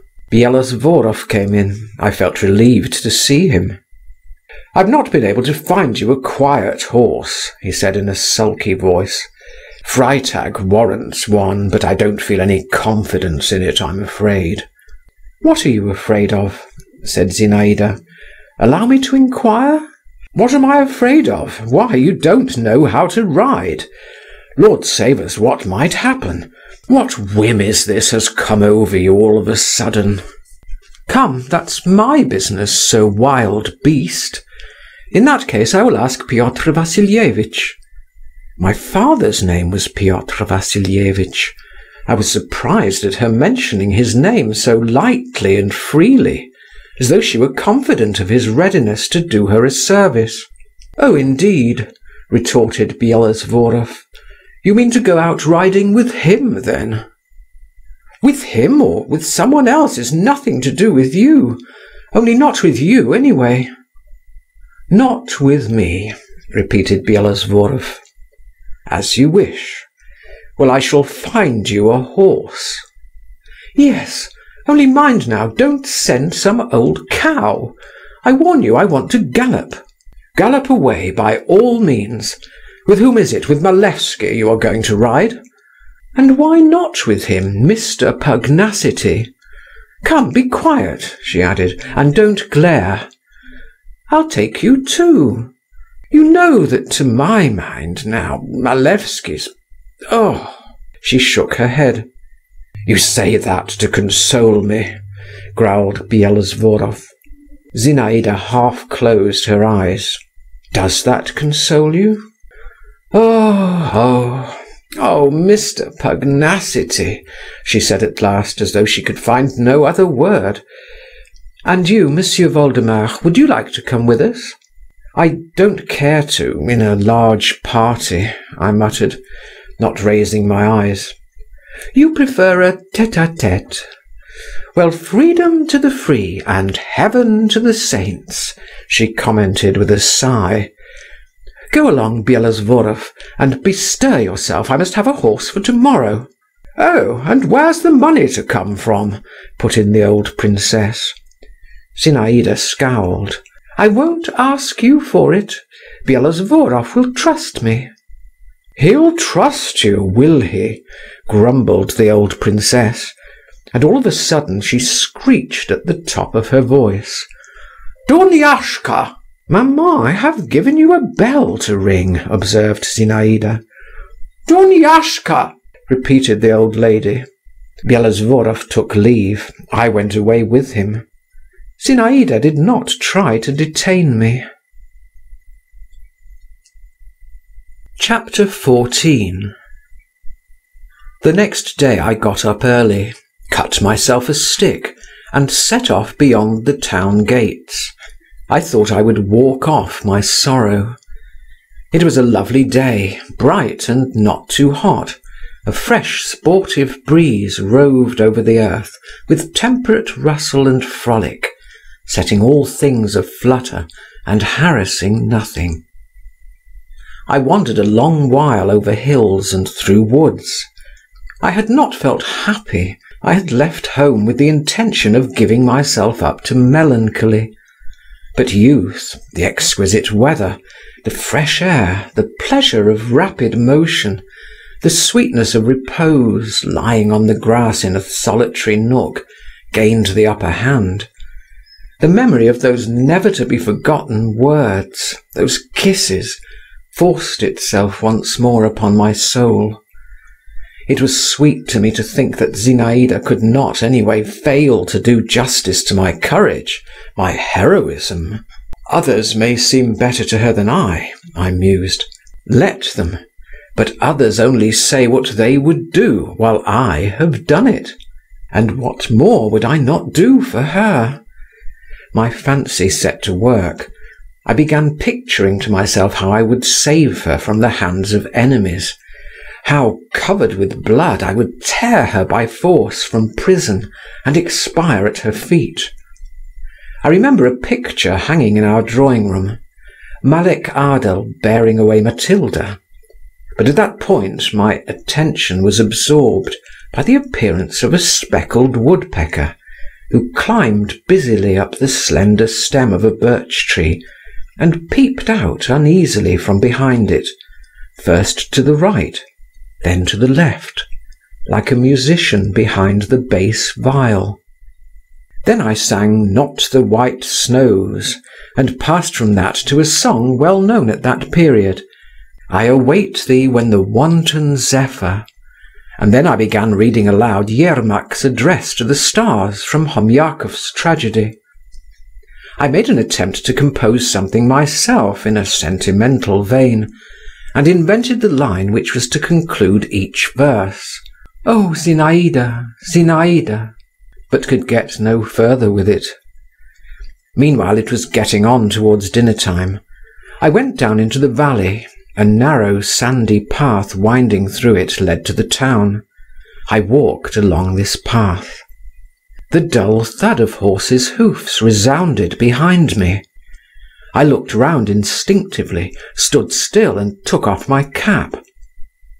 I saw my father and Zinaïda. They were riding side by side. My father was saying something to her, bending right over to her, his hand propped on the horse's neck. He was smiling. Zinaïda listened to him in silence, her eyes severely cast down, and her lips tightly pressed together. At first I saw them only, but a few instants later Byelovzorov came into sight round a bend in the glade. He was wearing a hussar's uniform with a pelisse, and riding a foaming black horse. The gallant horse tossed its head, snorted, and pranced from side to side. His rider was at once holding him in and spurring him on. I stood aside. My father gathered up the reins, moved away from Zinaïda.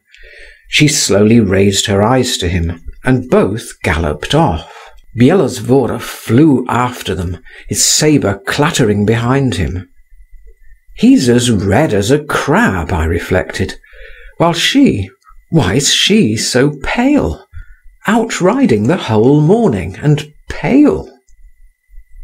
I redoubled my pace, and got home just at dinner time.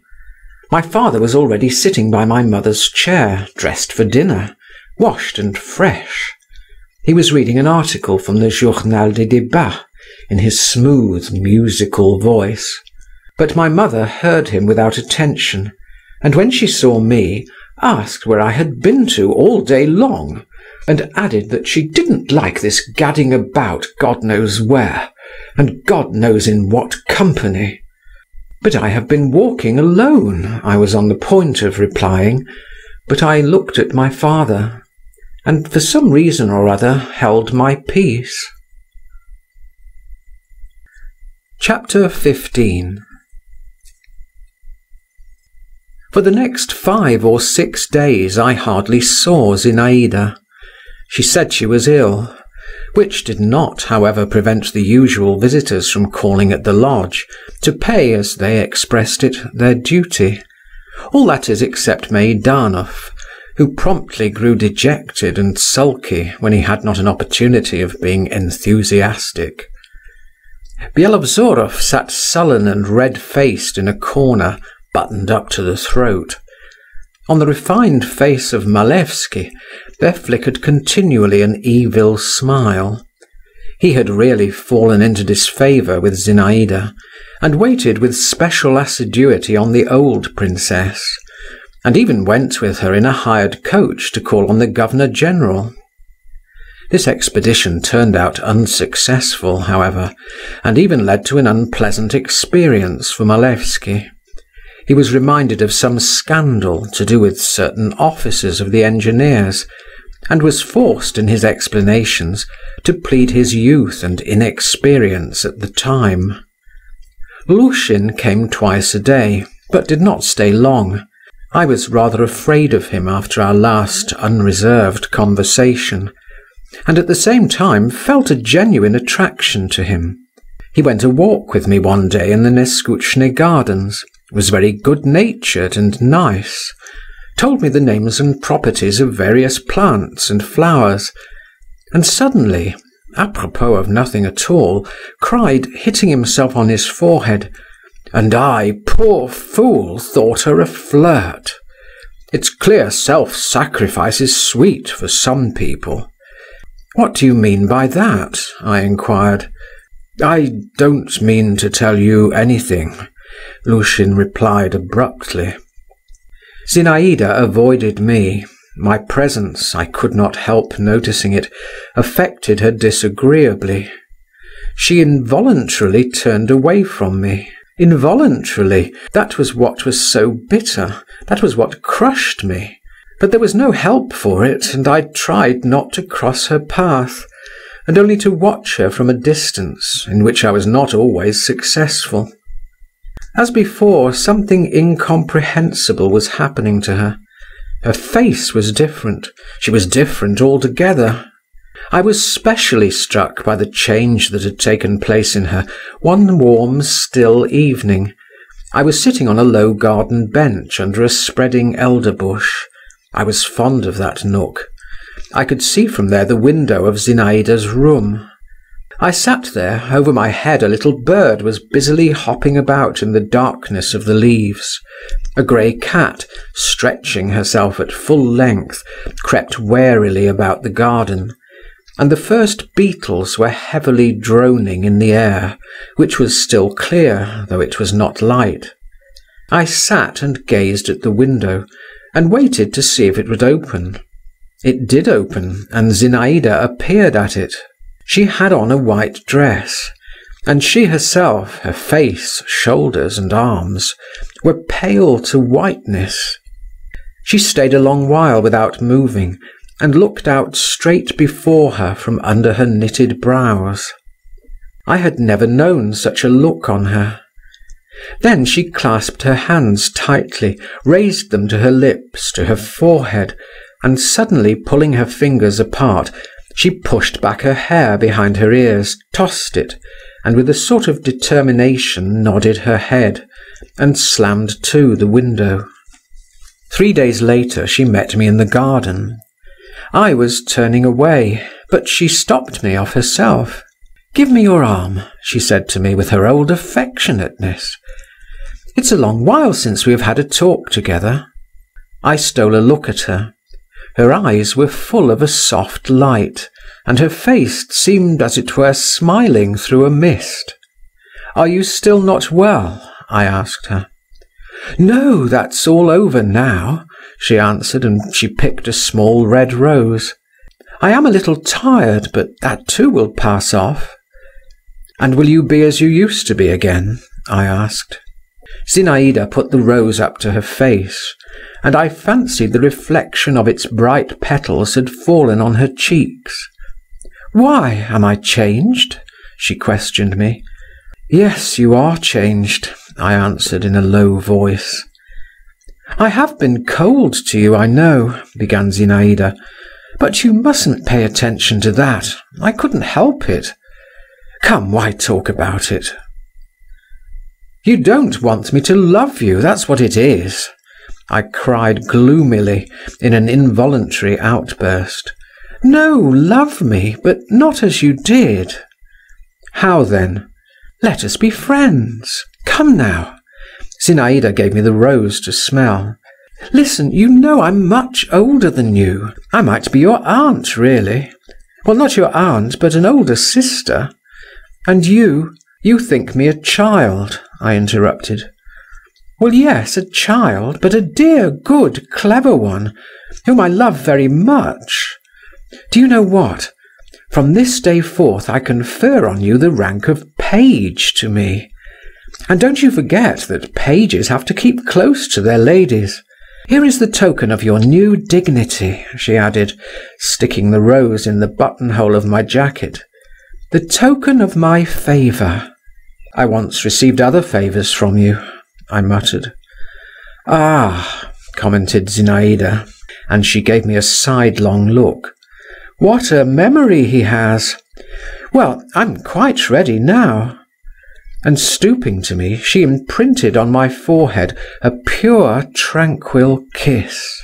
I only looked at her while she turned away, and saying, "Follow me, my page," went into the lodge.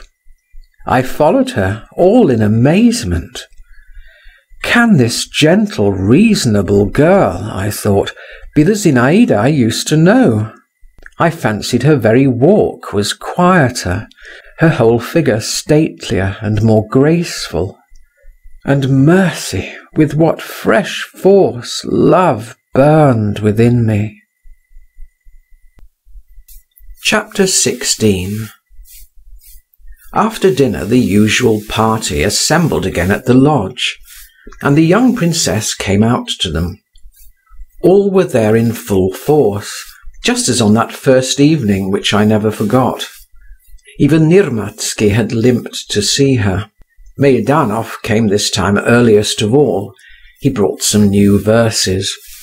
The games of forfeits began again, but without the strange pranks, the practical jokes and noise. The gypsy element had vanished. Zinaïda gave a different tone to the proceedings. I sat beside her by virtue of my office as page. Among other things, she proposed that anyone who had to pay a forfeit should tell his dream. But this was not successful. The dreams were either uninteresting, Byelovzorov had dreamed that he fed his mare on carp, and that she had a wooden head. Or unnatural and invented. Meidanov regaled us with a regular romance. There were sepulchres in it, and angels with lyres, and talking flowers, and music wafted from afar. Zinaïda did not let him finish. If we are to have compositions, she said, let everyone tell something made up, and no pretence about it. The first who had to speak was again Byelovzorov. The young hussar was confused. I can't make up anything, he cried. What nonsense, said Zinaïda. Well, imagine, for instance, you are married, and tell us how you would treat your wife. Would you lock her up? Yes, I should lock her up. And would you stay with her yourself? Yes, I should certainly stay with her myself. Very good. Well, but if she got sick of that, and she deceived you? I should kill her. And if she ran away? I should catch her up and kill her all the same. Oh! And suppose now I were your wife, what would you do then? Byelovzorov was silent a minute. I should kill myself. Zinaïda laughed. I see yours is not a long story. The next forfeit was Zinaïda's. She looked at the ceiling and considered. Well, listen, she began at last. What I have thought of. Picture to yourselves a magnificent palace, a summer night, and a marvellous ball. This ball is given by a young queen.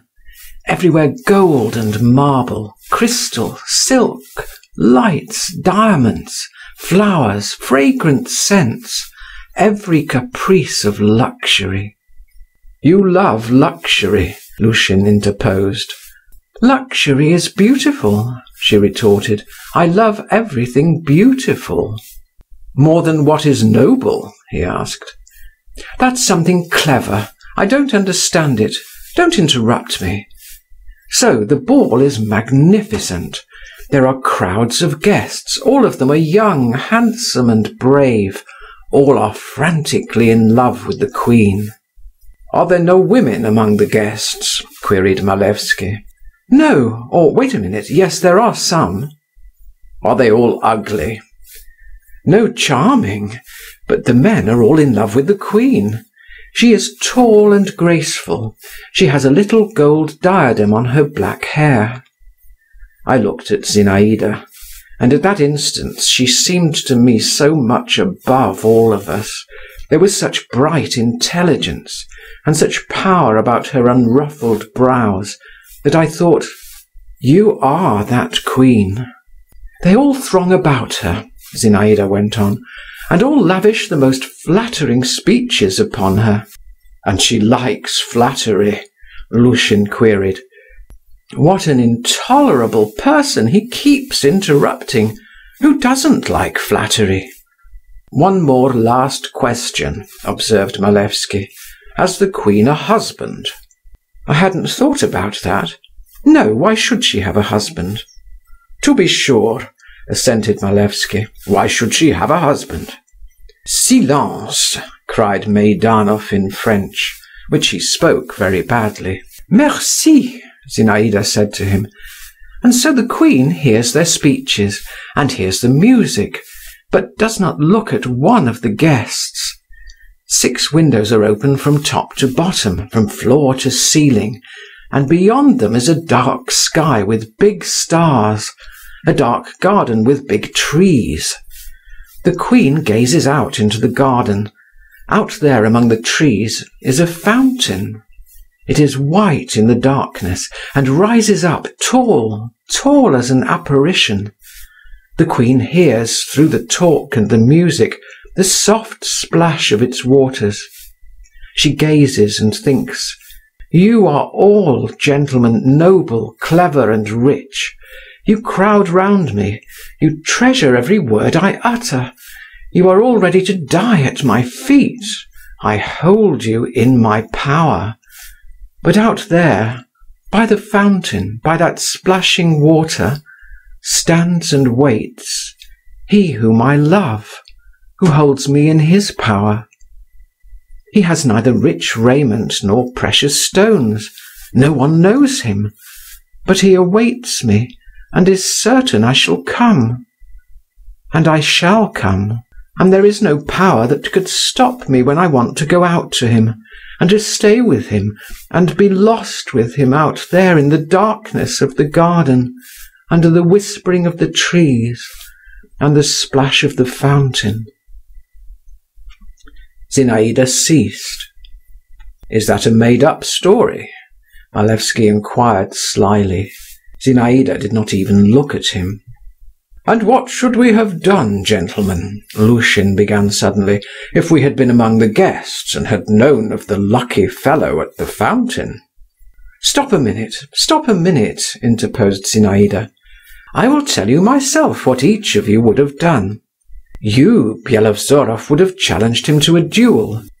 You, Meidanov, would have written an epigram on him. No, though you can't write epigrams, you would have made up a long poem on him in the style of Barbier, and would have inserted your production in the Telegraph. You, Nirmatsky, would have borrowed no, you would have lent him money at high interest. You, doctor, she stopped. There I really don't know what you would have done. In the capacity of court physician, answered Lushin, I would have advised the queen not to give balls when she was not in the humour for entertaining her guests. Perhaps you would have been right. And you, Count? And I? repeated Malevsky with his evil smile. You would offer him a poisoned sweetmeat.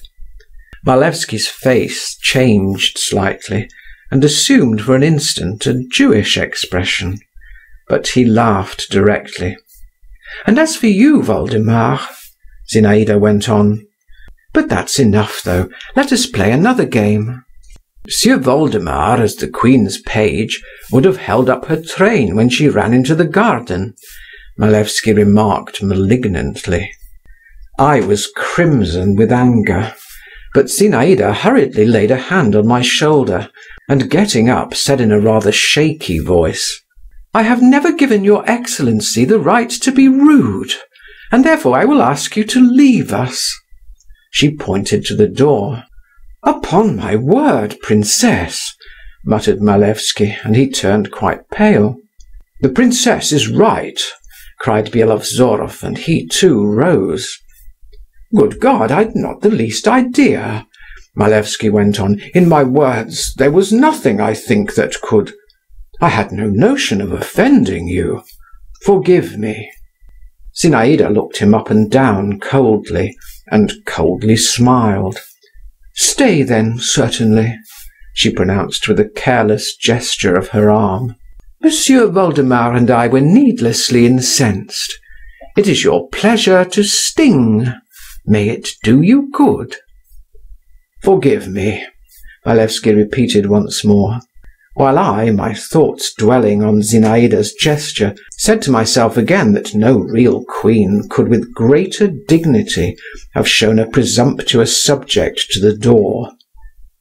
The game of forfeits went on for a short time after this little scene. Everyone felt rather ill at ease, as from another, not quite definite, but oppressive feeling. No one spoke of it, but everyone was conscious of it in himself and in his neighbour. Meidanov read us his verses. He wants to show how good he is now, Lushin whispered to me.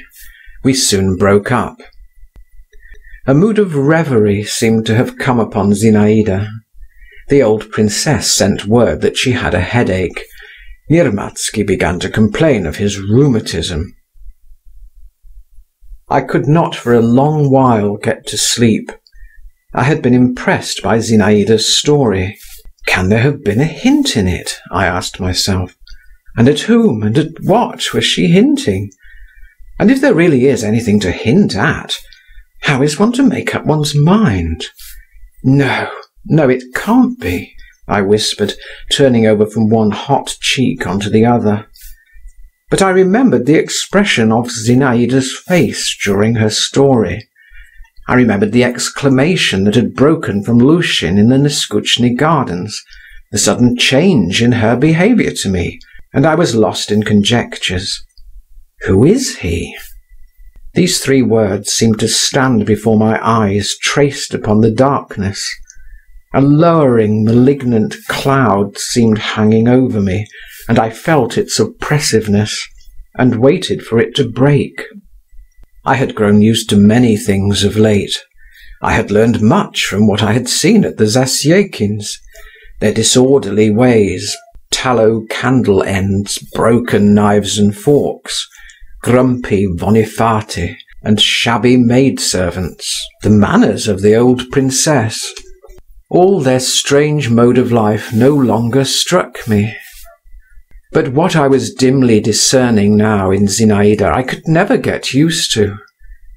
An adventuress, my mother had said of her one day. An adventuress, she, my idol, my divinity. This word stabbed me. I tried to get away from it into my pillow. I was indignant. And at the same time, what would I not have agreed to? What would I not have given only to be that lucky fellow at the fountain? My blood was on fire and boiling within me.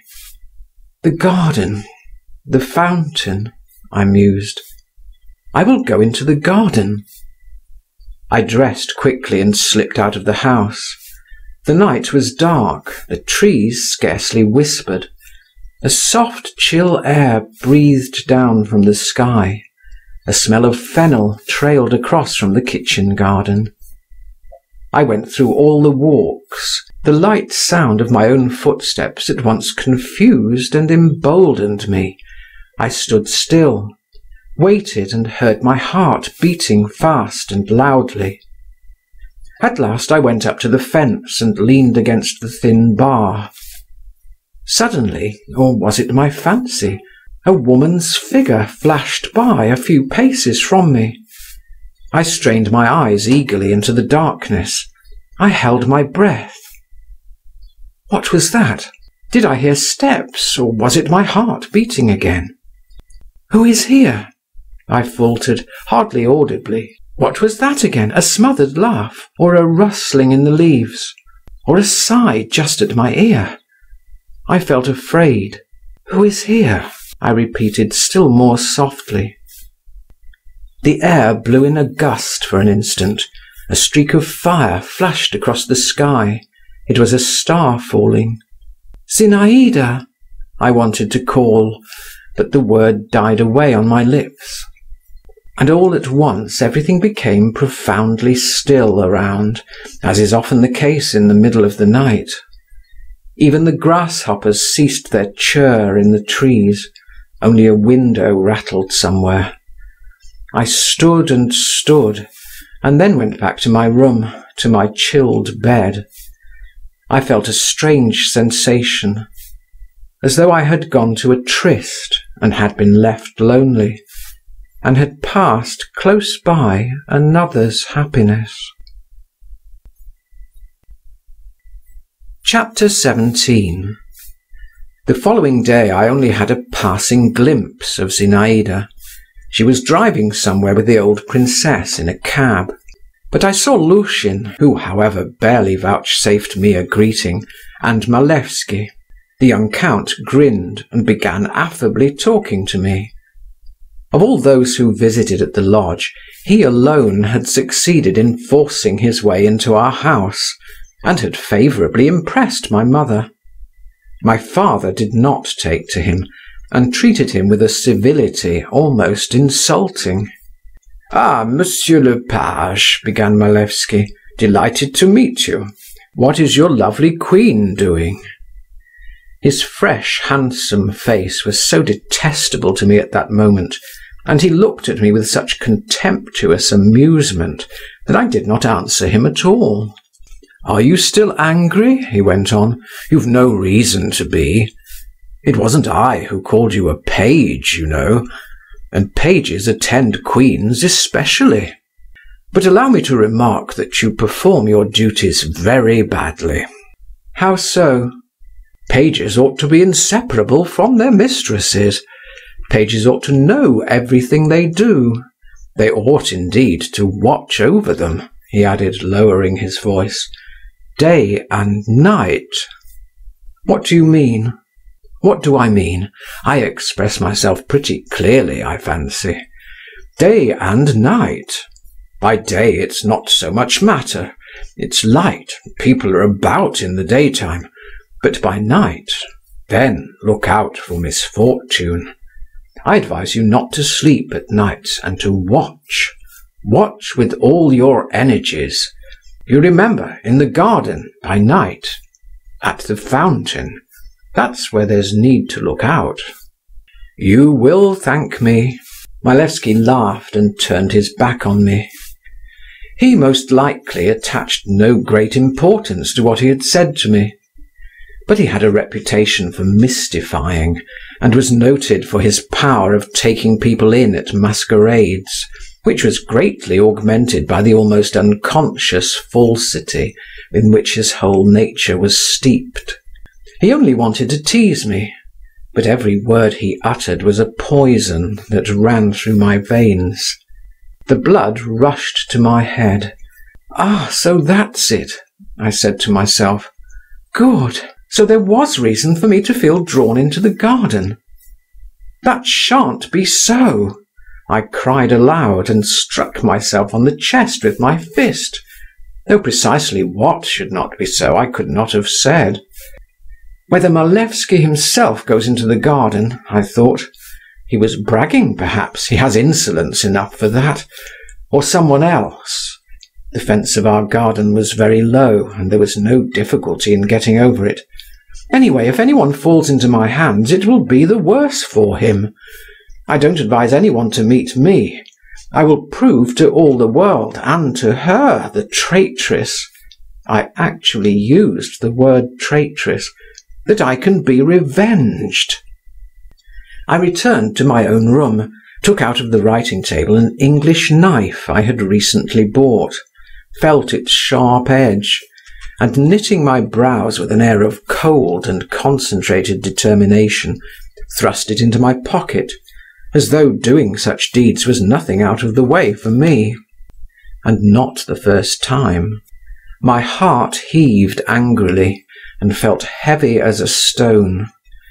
All day long I kept a scowling brow and lips tightly compressed, and was continually walking up and down, clutching, with my hand in my pocket, the knife, which was warm from my grasp, while I prepared myself beforehand for something terrible. These new, unknown sensations so occupied and even delighted me that I hardly thought of Zinaïda herself. I was continually haunted by Aleko, the young gipsy. "Where art thou going, young handsome man? Lie there!" And then, "Thou art all besprent with blood. Oh, what hast thou done?" "Naught!" With a cruel smile I repeated that "Naught!" My father was not at home. But my mother, who had for some time been in an almost continual state of dumb exasperation, noticed my gloomy and heroic aspect, and said to me at supper, "Why are you sulking like a mouse in a meal tub?" I merely smiled condescendingly in reply, and thought, if only they knew. It struck eleven. I went to my room, but did not undress. I waited for midnight. At last it struck. "The time has come," I muttered between my teeth, and buttoning myself up to the throat, and even pulling my sleeves up, I went into the garden. I had already fixed on the spot from which to keep watch. At the end of the garden, at the point where the fence separating our domain from the Zasyekins joined the common wall, grew a pine tree standing alone. Standing under its low, thick branches I could see well, as far as the darkness of the night permitted, what took place around. Close by ran a winding path which had always seemed mysterious to me. It coiled like a snake under the fence, which at that point bore traces of having been climbed over. and led to a round arbour formed of thick acacias. I made my way to the pine tree, leaned my back against its trunk, and began my watch. The night was as still as the night before, but there were fewer clouds in the sky, and the outlines of bushes, even of tall flowers, could be more distinctly seen. The first moments of expectation were oppressive, almost terrible. I had made up my mind to everything. I only debated how to act. Whether to thunder, Where goest thou? Stand, show thyself, or death! or simply to strike. Every sound, every whisper and rustle seemed to me portentous and extraordinary. I prepared myself, I bent forward. But half an hour passed, an hour passed. My blood had grown quieter, colder. The consciousness that I was doing all this for nothing, that I was even a little absurd, that Malevsky had been making fun of me, began to steal over me. I left my ambush, and walked all about the garden. As if to taunt me, there was not the smallest sound to be heard anywhere. Everything was at rest. Even our dog was asleep, curled up into a ball at the gate. I climbed up into the ruins of the greenhouse, saw the open country far away before me, recalled my meeting with Zinaïda, and fell to dreaming. I started. I fancied I heard the creak of a door opening, then the faint crack of a broken twig. In two bounds I got down from the ruin, and stood still, all aghast. Rapid, light, but cautious footsteps sounded distinctly in the garden. They were approaching me. Here he is! Here he is at last! flashed through my heart. With spasmodic haste I pulled the knife out of my pocket.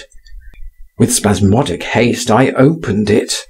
Flashes of red were whirling before my eyes. My hair stood up on my head in my fear and fury. The steps were coming straight towards me. I bent. I craned forward to meet him. A man came into view. My God! It was my father! I recognized him at once, though he was all muffled up in a dark cloak, and his hat was pulled down over his face.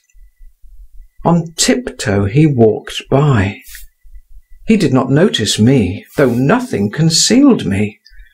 But I was so huddled up and shrunk together that I fancy I was almost on the level of the ground.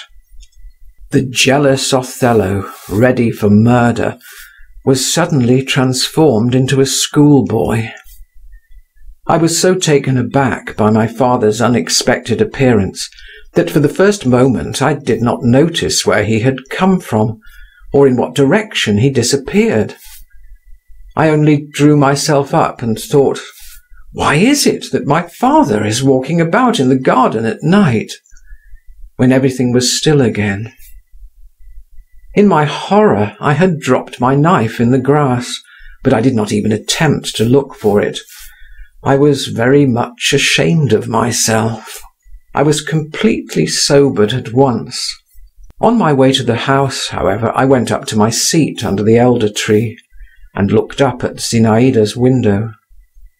The small, slightly convex panes of the window shone dimly blue in the faint light thrown on them by the night sky. All at once their colour began to change. Behind them, I saw this, saw it distinctly. Softly and cautiously a white blind was let down, let down right to the window frame, and so stayed. What is that for? I said aloud, almost involuntarily, when I found myself once more in my room. A dream, a chance, or… The suppositions which suddenly rushed into my head were so new and strange that I did not dare to entertain them. Chapter 18 I got up in the morning with a headache. My emotion of the previous day had vanished. It was replaced by a dreary sense of blankness and a sort of sadness I had not known till then, as though something had died in me. "Why is it you're looking like a rabbit with half its brain removed?" said Lushin on meeting me. At lunch I stole a look first at my father, then at my mother. He was composed as usual. She was as usual secretly irritated. I waited to see whether my father would make some friendly remarks to me, as he sometimes did. But he did not even bestow his everyday cold greeting upon me. Shall I tell Zinaïda all? I wondered. It's all the same anyway, all is at an end between us. I went to see her, but told her nothing, and indeed I could not even have managed to get a talk with her if I had wanted to. The old princess's son, a cadet of twelve years old, had come from Petersburg for his holidays. Zinaïda at once handed her brother over to me. "Here," she said, "my dear Volodya" (it was the first time she had used this pet name to me), "is a companion for you. His name is Volodya too. Please like him. He is still shy, but he has a good heart. Show him Neskutchny gardens, go walks with him, take him under your protection. You'll do that, won't you? You're so good, too." She laid both her hands affectionately on my shoulders, and I was utterly bewildered. The presence of this boy transformed me too into a boy. I looked in silence at the cadet, who stared as silently at me. Zinaïda laughed and pushed us towards each other.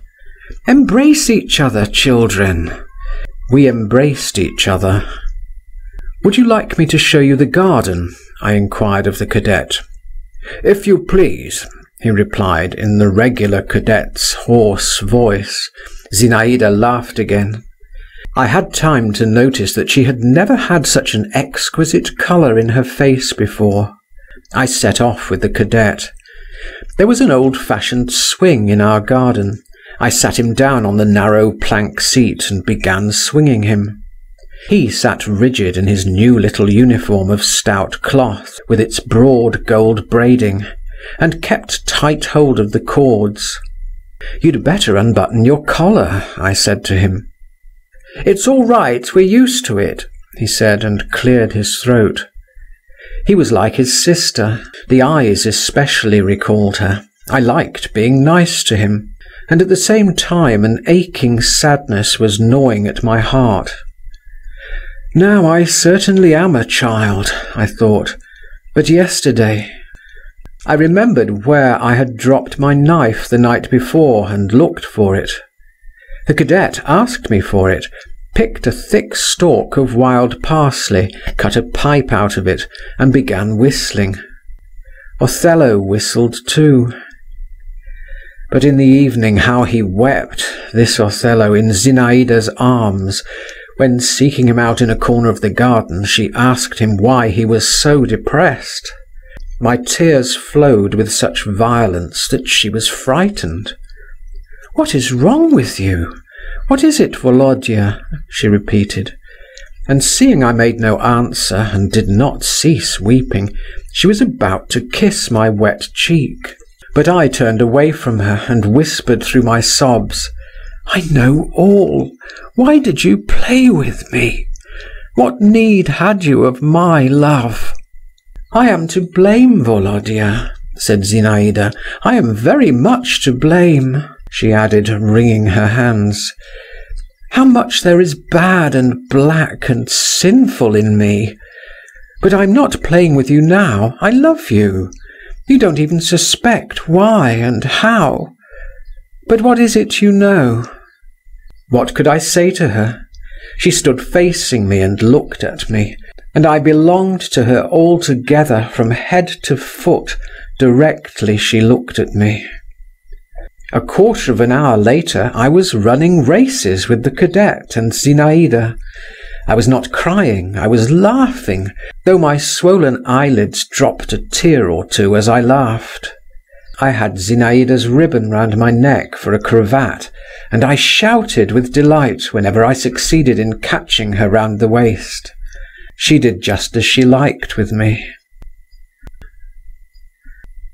Chapter 19 I should be in a great difficulty if I were forced to describe exactly what passed within me in the course of the week after my unsuccessful midnight expedition. It was a strange, feverish time, a sort of chaos, in which the most violently opposed feelings, thoughts, suspicions, hopes, joys and sufferings whirled together in a kind of hurricane. I was afraid to look into myself.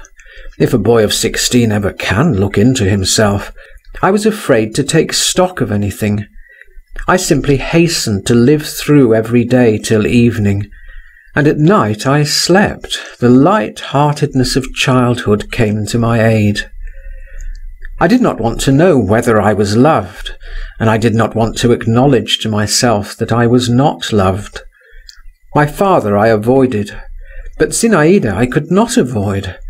I burnt as in a fire in her presence, and what did I care to know what the fire was in which I burned and melted, it was enough that it was sweet to burn and melt. I gave myself up to all my passing sensations, and cheated myself, turning away from memories and shutting my eyes to what I foreboded before me. This weakness would not most likely have lasted long in any case. A thunderbolt cut it all short in a moment and flung me into a new track altogether.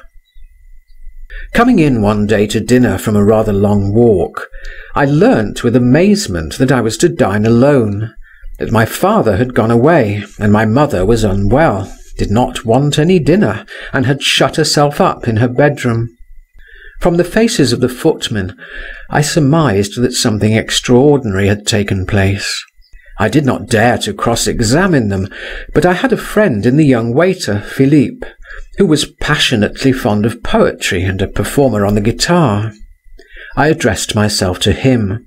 From him I learned that a terrible scene had taken place between my father and mother, and every word had been overheard in the maid's room. Much of it had been in French, but Masha, the lady's maid, had lived five years with a dressmaker from Paris, and she understood it all.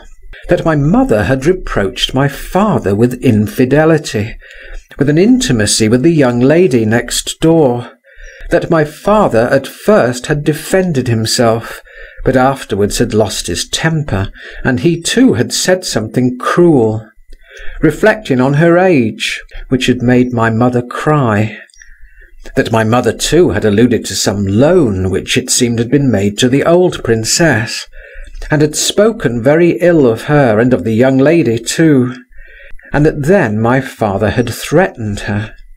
And all the mischief, continued Philippe, came from an anonymous letter, and who wrote it no one knows, or else there'd have been no reason whatever for the matter to have come out at all. But was there really any ground? I brought out with difficulty, while my hands and feet went cold, and a sort of shudder ran through my inmost being. Philippe winked meaningly. There was. There's no hiding those things. For all that your father was careful this time. But there, you see, he'd, for instance, to hire a carriage or something. No getting on without servants either. I dismissed Philippe and fell onto my bed. I did not sob, I did not give myself up to despair.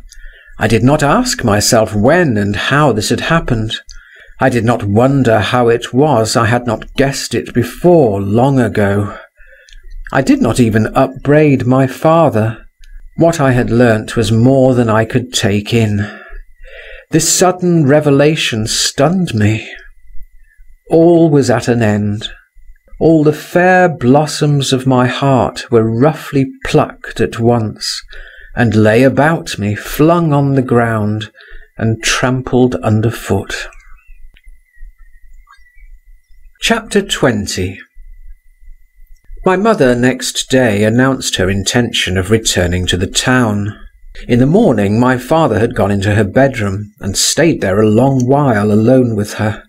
No one had overheard what he said to her, but my mother wept no more, she regained her composure, and asked for food, but did not make her appearance nor change her plans.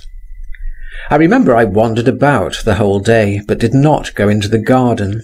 I never once glanced at the lodge, and in the evening I was the spectator of an amazing occurrence. My father conducted Count Malevsky by the arm through the dining room into the hall, and in the presence of a footman said icily to him, "A few days ago your excellency was shown the door in our house. And now I am not going to enter into any kind of explanation with you, but I have the honour to announce to you that if you ever visit me again I shall throw you out of window. I don't like your handwriting." The count bowed, bit his lips, shrank away, and vanished. Preparations were beginning for our removal to town, to Arbaty Street, where we had a house. My father himself probably no longer cared to remain at the country house, but clearly he had succeeded in persuading my mother not to make a public scandal. Everything was done quietly, without hurry. My mother even sent her compliments to the old princess, and expressed her regret that she was prevented by indisposition from seeing her again before her departure. I wandered about like one possessed, and only longed for one thing, for it all to be over as soon as possible. One thought I could not get out of my head. How could she, a young girl, and a princess too, after all, bring herself to such a step, knowing that my father was not a free man, and having an opportunity of marrying, for instance, Byelovzorov? What did she hope for? How was it she was not afraid of ruining her whole future? Yes, I thought, this is love, this is passion, this is devotion. And Lushin's words came back to me. To sacrifice oneself for some people is sweet. I chanced somehow to catch sight of something white in one of the windows of the lodge. Can it be Zinaïda's face? I thought. Yes, it really was her face. I could not restrain myself. I could not part from her without saying a last good-bye to her. I seized a favourable instant and went into the lodge. In the drawing-room the old princess met me with her usual slovenly and careless greetings. "How's this, my good man, your folks are off in such a hurry?" she observed, thrusting snuff into her nose. I looked at her, and a load was taken off my heart. The word loan, dropped by Philip, had been torturing me. She had no suspicion; at least I thought so then. Zinaïda came in from the next room, pale and dressed in black, with her hair hanging loose. She took me by the hand without a word, and drew me away with her. "I heard your voice," she began, "and came out at once. Is it so easy for you to leave us, bad boy?" "I have come to say good bye to you, princess," I answered, "probably for ever. You have heard, perhaps, we are going away." Zinaïda looked intently at me. "Yes, I have heard. Thanks for coming. I was beginning to think I should not see you again. Don't remember evil against me. I have sometimes tormented you, but all the same I am not what you imagine me." She turned away and leaned against the window. "Really, I am not like that. I know you have a bad opinion of me." "I?" "Yes, you, you." "I!" I repeated mournfully, and my heart throbbed as of old under the influence of her overpowering, indescribable fascination. "I, believe me, Zinaïda Alexandrovna, whatever you did, however you tormented me, I should love and adore you to the end of my days." She turned with a rapid motion to me, and flinging wide her arms embraced my head, and gave me a warm and passionate kiss. God knows whom that long farewell kiss was seeking, but I eagerly tasted its sweetness. I knew that it would never be repeated. "Good bye, good bye," I kept saying. She tore herself away and went out and I went away. I cannot describe the emotion with which I went away. I should not wish it ever to come again. But I should think myself unfortunate had I never experienced such an emotion. We went back to town. I did not quickly shake off the past. I did not quickly get to work. My wound slowly began to heal. But I had no ill feeling against my father. On the contrary, he had, as it were, gained in my eyes. Let psychologists explain the contradiction as best they can.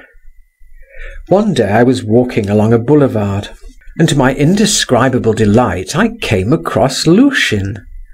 I liked him for his straightforward and unaffected character, and besides he was dear to me for the sake of the memories he aroused in me.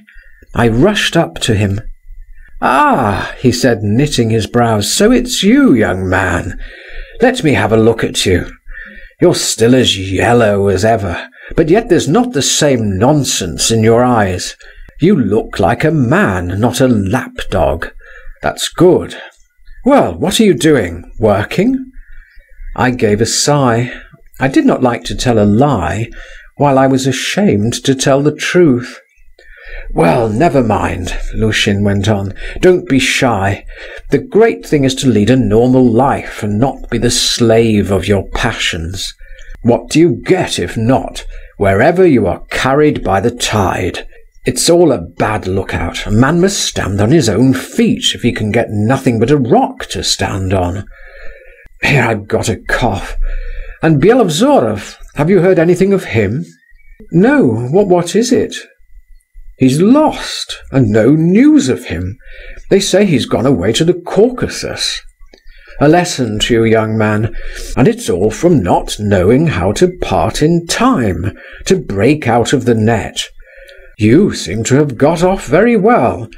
Mind you don't fall into the same snare again. Good-bye. I shan't, I thought. I shan't see her again. But I was destined to see Zinaïda once more.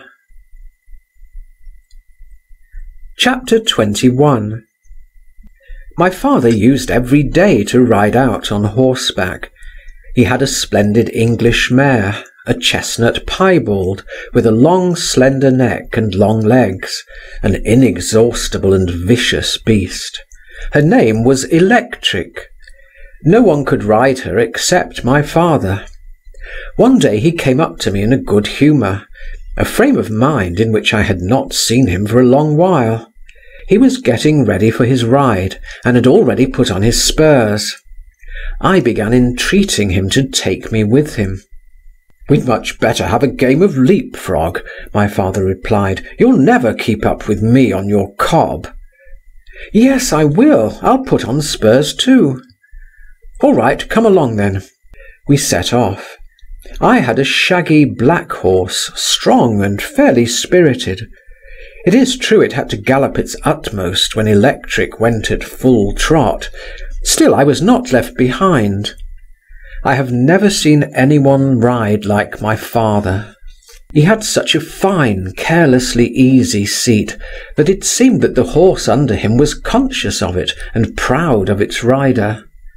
We rode through all the boulevards, reached the Maiden's Field, jumped several fences.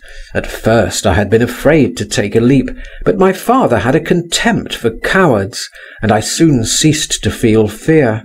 Twice crossed the river Moskva, and I was under the impression that we were on our way home, especially as my father, of his own accord, observed that my horse was tired, when suddenly he turned off away from me at the Crimean ford, and galloped along the river bank. I rode after him.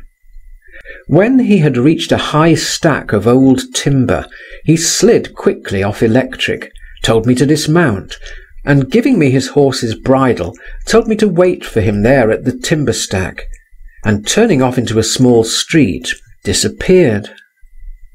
I began walking up and down the river bank, leading the horses, and scolding Electric, who kept pulling, shaking her head, snorting and neighing as she went; and when I stood still never failed to paw the ground, and whining bite my cob on the neck.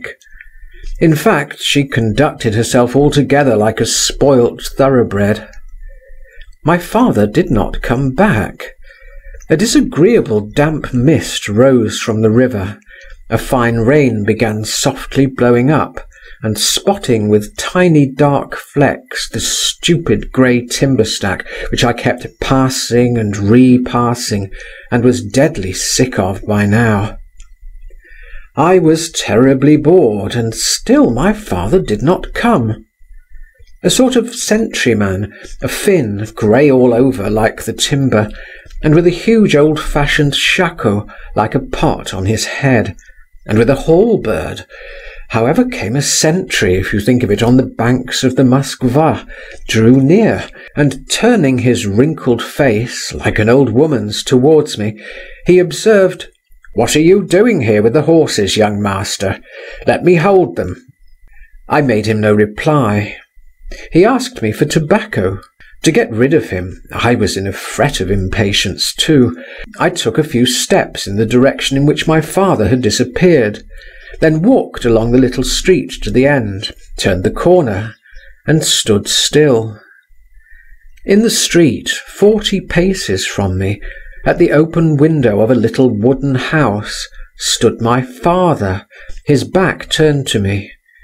He was leaning forward over the window sill, and in the house half hidden by a curtain, sat a woman in a dark dress, talking to my father. This woman was Zinaïda. I was petrified. This, I confess, I had never expected. My first impulse was to run away. My father will look round, I thought, and I am lost. But a strange feeling, a feeling stronger than curiosity, stronger than jealousy, stronger even than fear, held me there. I began to watch. I strained my ears to listen. It seemed as though my father were insisting on something. Zinaïda would not consent. I seemed to see her face now, mournful, serious, lovely, and with an inexpressible impress of devotion, grief, love, and a sort of despair. I can find no other word for it. She uttered monosyllables, not raising her eyes, simply smiling, submissively, but without yielding. By that smile alone I should have known my Zinaïda of old days. My father shrugged his shoulders and straightened his hat on his head, which was always a sign of impatience with him. Then I caught the words, "Vous devez vous séparer de cette Zinaïda sat up and stretched out her arm. Suddenly, before my very eyes, the impossible happened. My father suddenly lifted the whip, with which he had been switching the dust off his coat, and I heard a sharp blow on that arm, bare to the elbow. I could scarcely restrain myself from crying out, while Zinaïda shuddered, looked without a word at my father, and slowly raising her arm to her lips, kissed the streak of red upon it. My father flung away the whip, and running quickly up the steps, dashed into the house. Zinaïda turned round, and with outstretched arms and downcast head, she too moved away from the window. My heart sinking with panic, with a sort of awestruck horror, I rushed back, and running down the lane, almost letting go my hold of Electric, went back to the bank of the river. I could not think clearly of anything. I knew that my cold and reserved father was sometimes seized by fits of fury, and all the same I could never comprehend what I had just seen. but I felt at the time that however long I lived I could never forget the gesture, the glance, the smile of Zinaïda; that her image, this image so suddenly presented to me, was imprinted for ever on my memory. I stared vacantly at the river, and never noticed that my tears were streaming. "She is beaten," I was thinking. "Beaten, beaten." "Hullo, what are you doing? Give me the mare," I heard my father's voice saying behind me. Mechanically I gave him the bridle. He leapt on to Electric. The mare, chill with standing, reared on her haunches, and leapt ten feet away; but my father soon subdued her. He drove the spurs into her side, and gave her a blow on the neck with his fist. "Ah, I've no whip," he muttered. I remembered the swish and fall of the whip heard so short a time before, and shuddered. "Where did you put it?" I asked my father, after a brief pause. My father made no answer, and galloped on ahead. I overtook him. I felt that I must see his face. "Were you bored waiting for me?" he muttered through his teeth. "A little. Where did you drop your whip?" I asked again. My father glanced quickly at me. "I didn't drop it," he replied. "I threw it away. He sank into thought, and dropped his head. And then, for the first, and almost for the last time, I saw how much tenderness and pity his stern features were capable of expressing. He galloped on again, and this time I could not overtake him. I got home a quarter of an hour after him.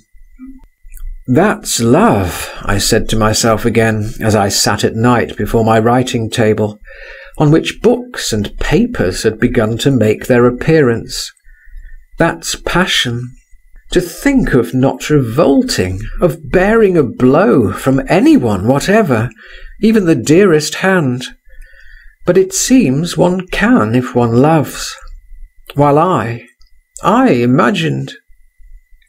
I had grown much older during the last month and my love, with all its transports and sufferings, struck me myself as something small and childish and pitiful beside this other unimagined something which I could hardly fully grasp, and which frightened me like an unknown, beautiful but menacing face which one strives in vain to make out clearly in the half darkness. A strange and fearful dream came to me that same night. I dreamed I went into a low dark room. My father was standing with a whip in his hand, stamping with anger. In the corner crouched Zinaïda, and not on her arm but on her forehead was a stripe of red, while behind them both towered Byelovzorov covered with blood. He opened his white lips, and wrathfully threatened my father. Two months later I entered the university, and within six months my father died of a stroke in Petersburg, where he had just moved with my mother and me. A few days before his death he received a letter from Moscow which threw him into a violent agitation. He went to my mother to beg some favour of her and I was told he positively shed tears, he, my father. On the very morning of the day when he was stricken down, he had begun a letter to me in French.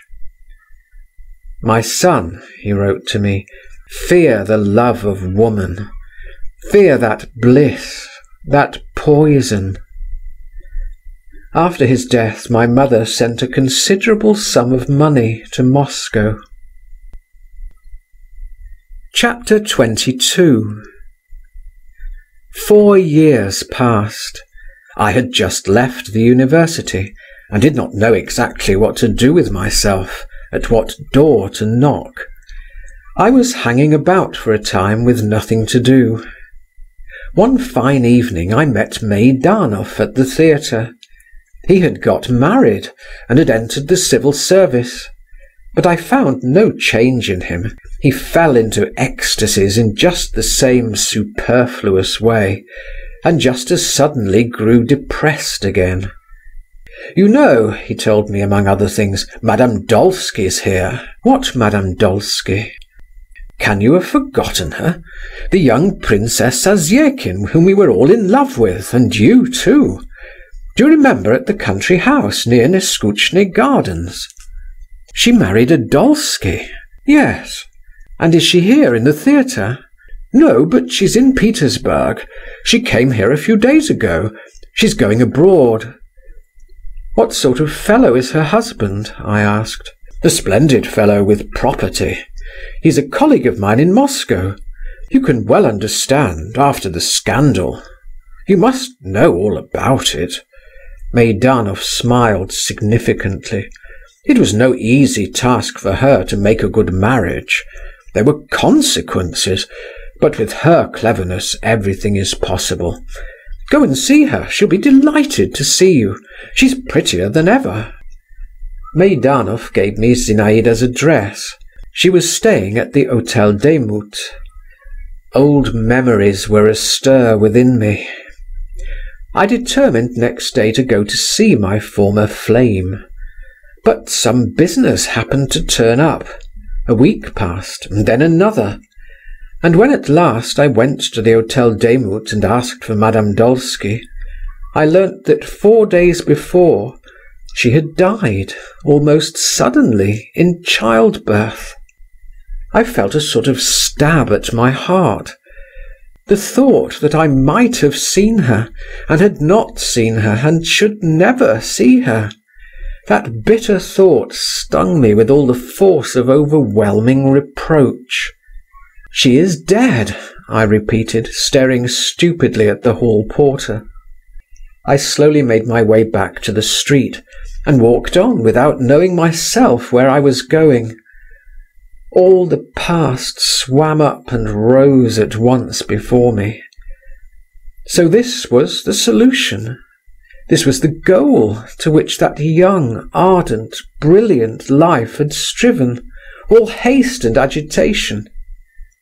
I mused on this. I fancied those dear features, those eyes, those curls, in the narrow box, in the damp underground darkness, lying here not far from me, while I was still alive, and maybe a few paces from my father. I thought all this. I strained my imagination, and yet all the while the lines from lips indifferent of her death I heard, indifferently I listened to it too, were echoing in my heart. O youth, youth, little dost thou care for anything. Thou art master, as it were, of all the treasures of the universe. Even sorrow gives thee pleasure, even grief thou canst turn to thy profit. Thou art self-confident and insolent. Thou sayest, I alone am living, look you. But thy days fly by all the while, and vanish without trace or reckoning, and everything in thee vanishes like wax in the sun, like snow. And perhaps the whole secret of thy charm lies not in being able to do anything, but in being able to think thou wilt do anything, lies just in thy throwing to the winds forces which thou couldst not make other use of, in each of us gravely regarding himself as a prodigal, gravely supposing that he is justified in saying, "Oh, what might I not have done if I had not wasted my time!" I now, what did I hope for, what did I expect? What rich future did I foresee, when the phantom of my first love, rising up for an instant, barely called forth one sigh, one mournful sentiment? And what has come to pass of all I hoped for? And now, when the shades of evening begin to steal over my life, what have I left fresher, more precious than the memories of the storm so soon over, of early morning, of spring. But I do myself injustice. Even then, in those light-hearted young days, I was not deaf to the voice of sorrow when it called upon me, to the solemn strains floating to me from beyond the tomb. I remember a few days after I heard of Zinaïda's death, I was present through a peculiar, irresistible impulse at the death of a poor old woman who lived in the same house as we. Covered with rags, lying on hard boards with a sack under her head, she died hardly and painfully. Her whole life had been passed in the bitter struggle with daily want. She had known no joy, had not tasted the honey of happiness. One would have thought surely she would rejoice at death, at her deliverance, her rest. But yet, as long as her decrepit body held out, as long as her breast still heaved in agony under the icy hand weighing upon it, until her last forces left her, the old woman crossed herself and kept whispering, Lord, forgive my sins. And only with the last spark of consciousness vanished from her eyes the look of fear, of horror of the end. And I remember that then, by the deathbed of that poor old woman, I felt aghast for Zinaïda, and longed to pray for her, for my father, and for myself. End of chapter 22 Recording by Martin Geeson in Haslemere, Surrey End of First Love by Ivan Turgenev. Translated by Constance Garnett.